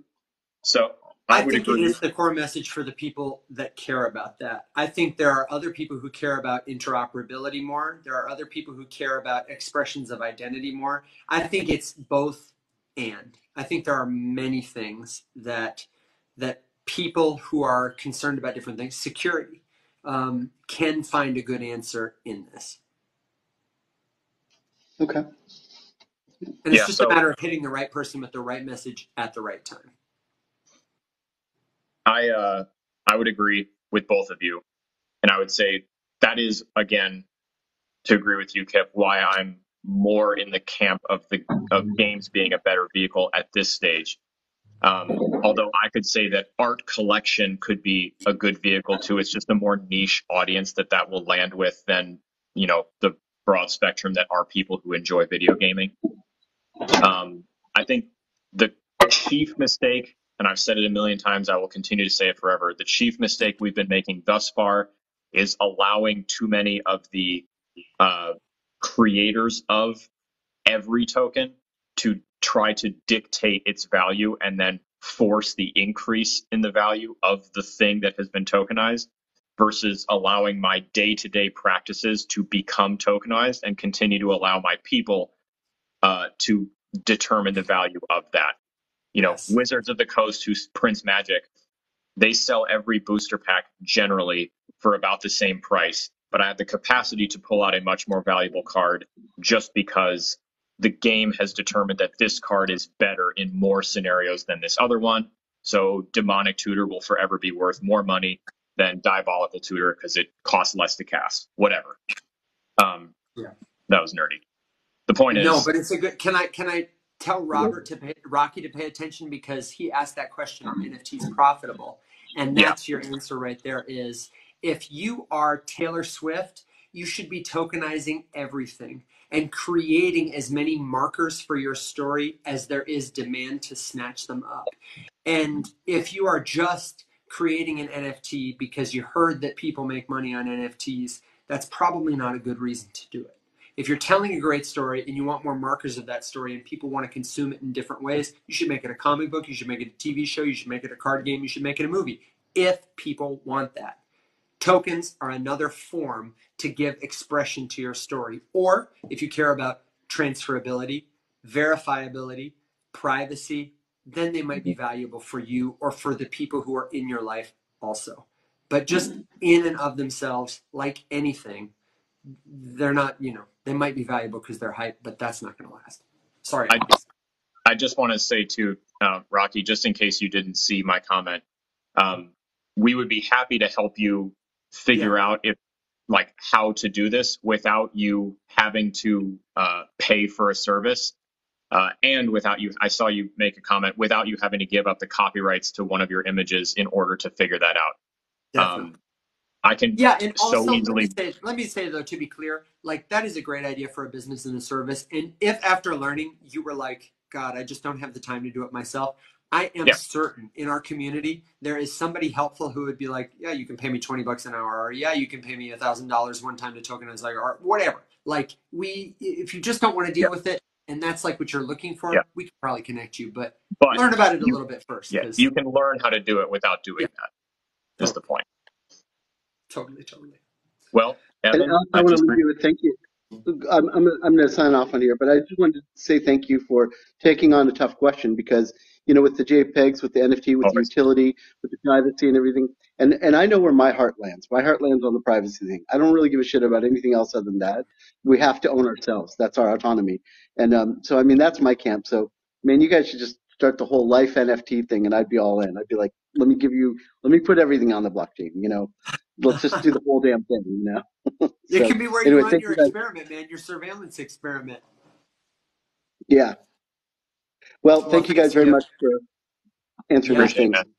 It's great to talk to you, and uh, I, I think I think you were about to do it too, Alex. That might, might be that might be where we end it for today. What do you say? Uh, we, we've had a good show. Yeah, that was a big one. They're getting longer and longer.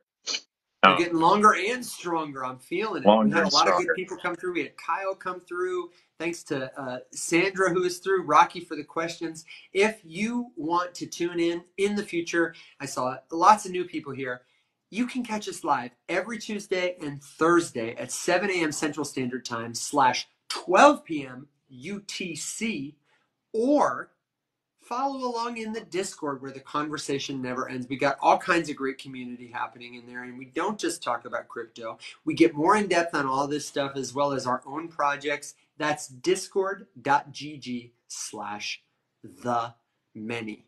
M A N Y, the many. Like the faceless many, which is you, me, all the everyday people who are learning to leverage future technology like blockchain to rise up and write a better, more egalitarian future.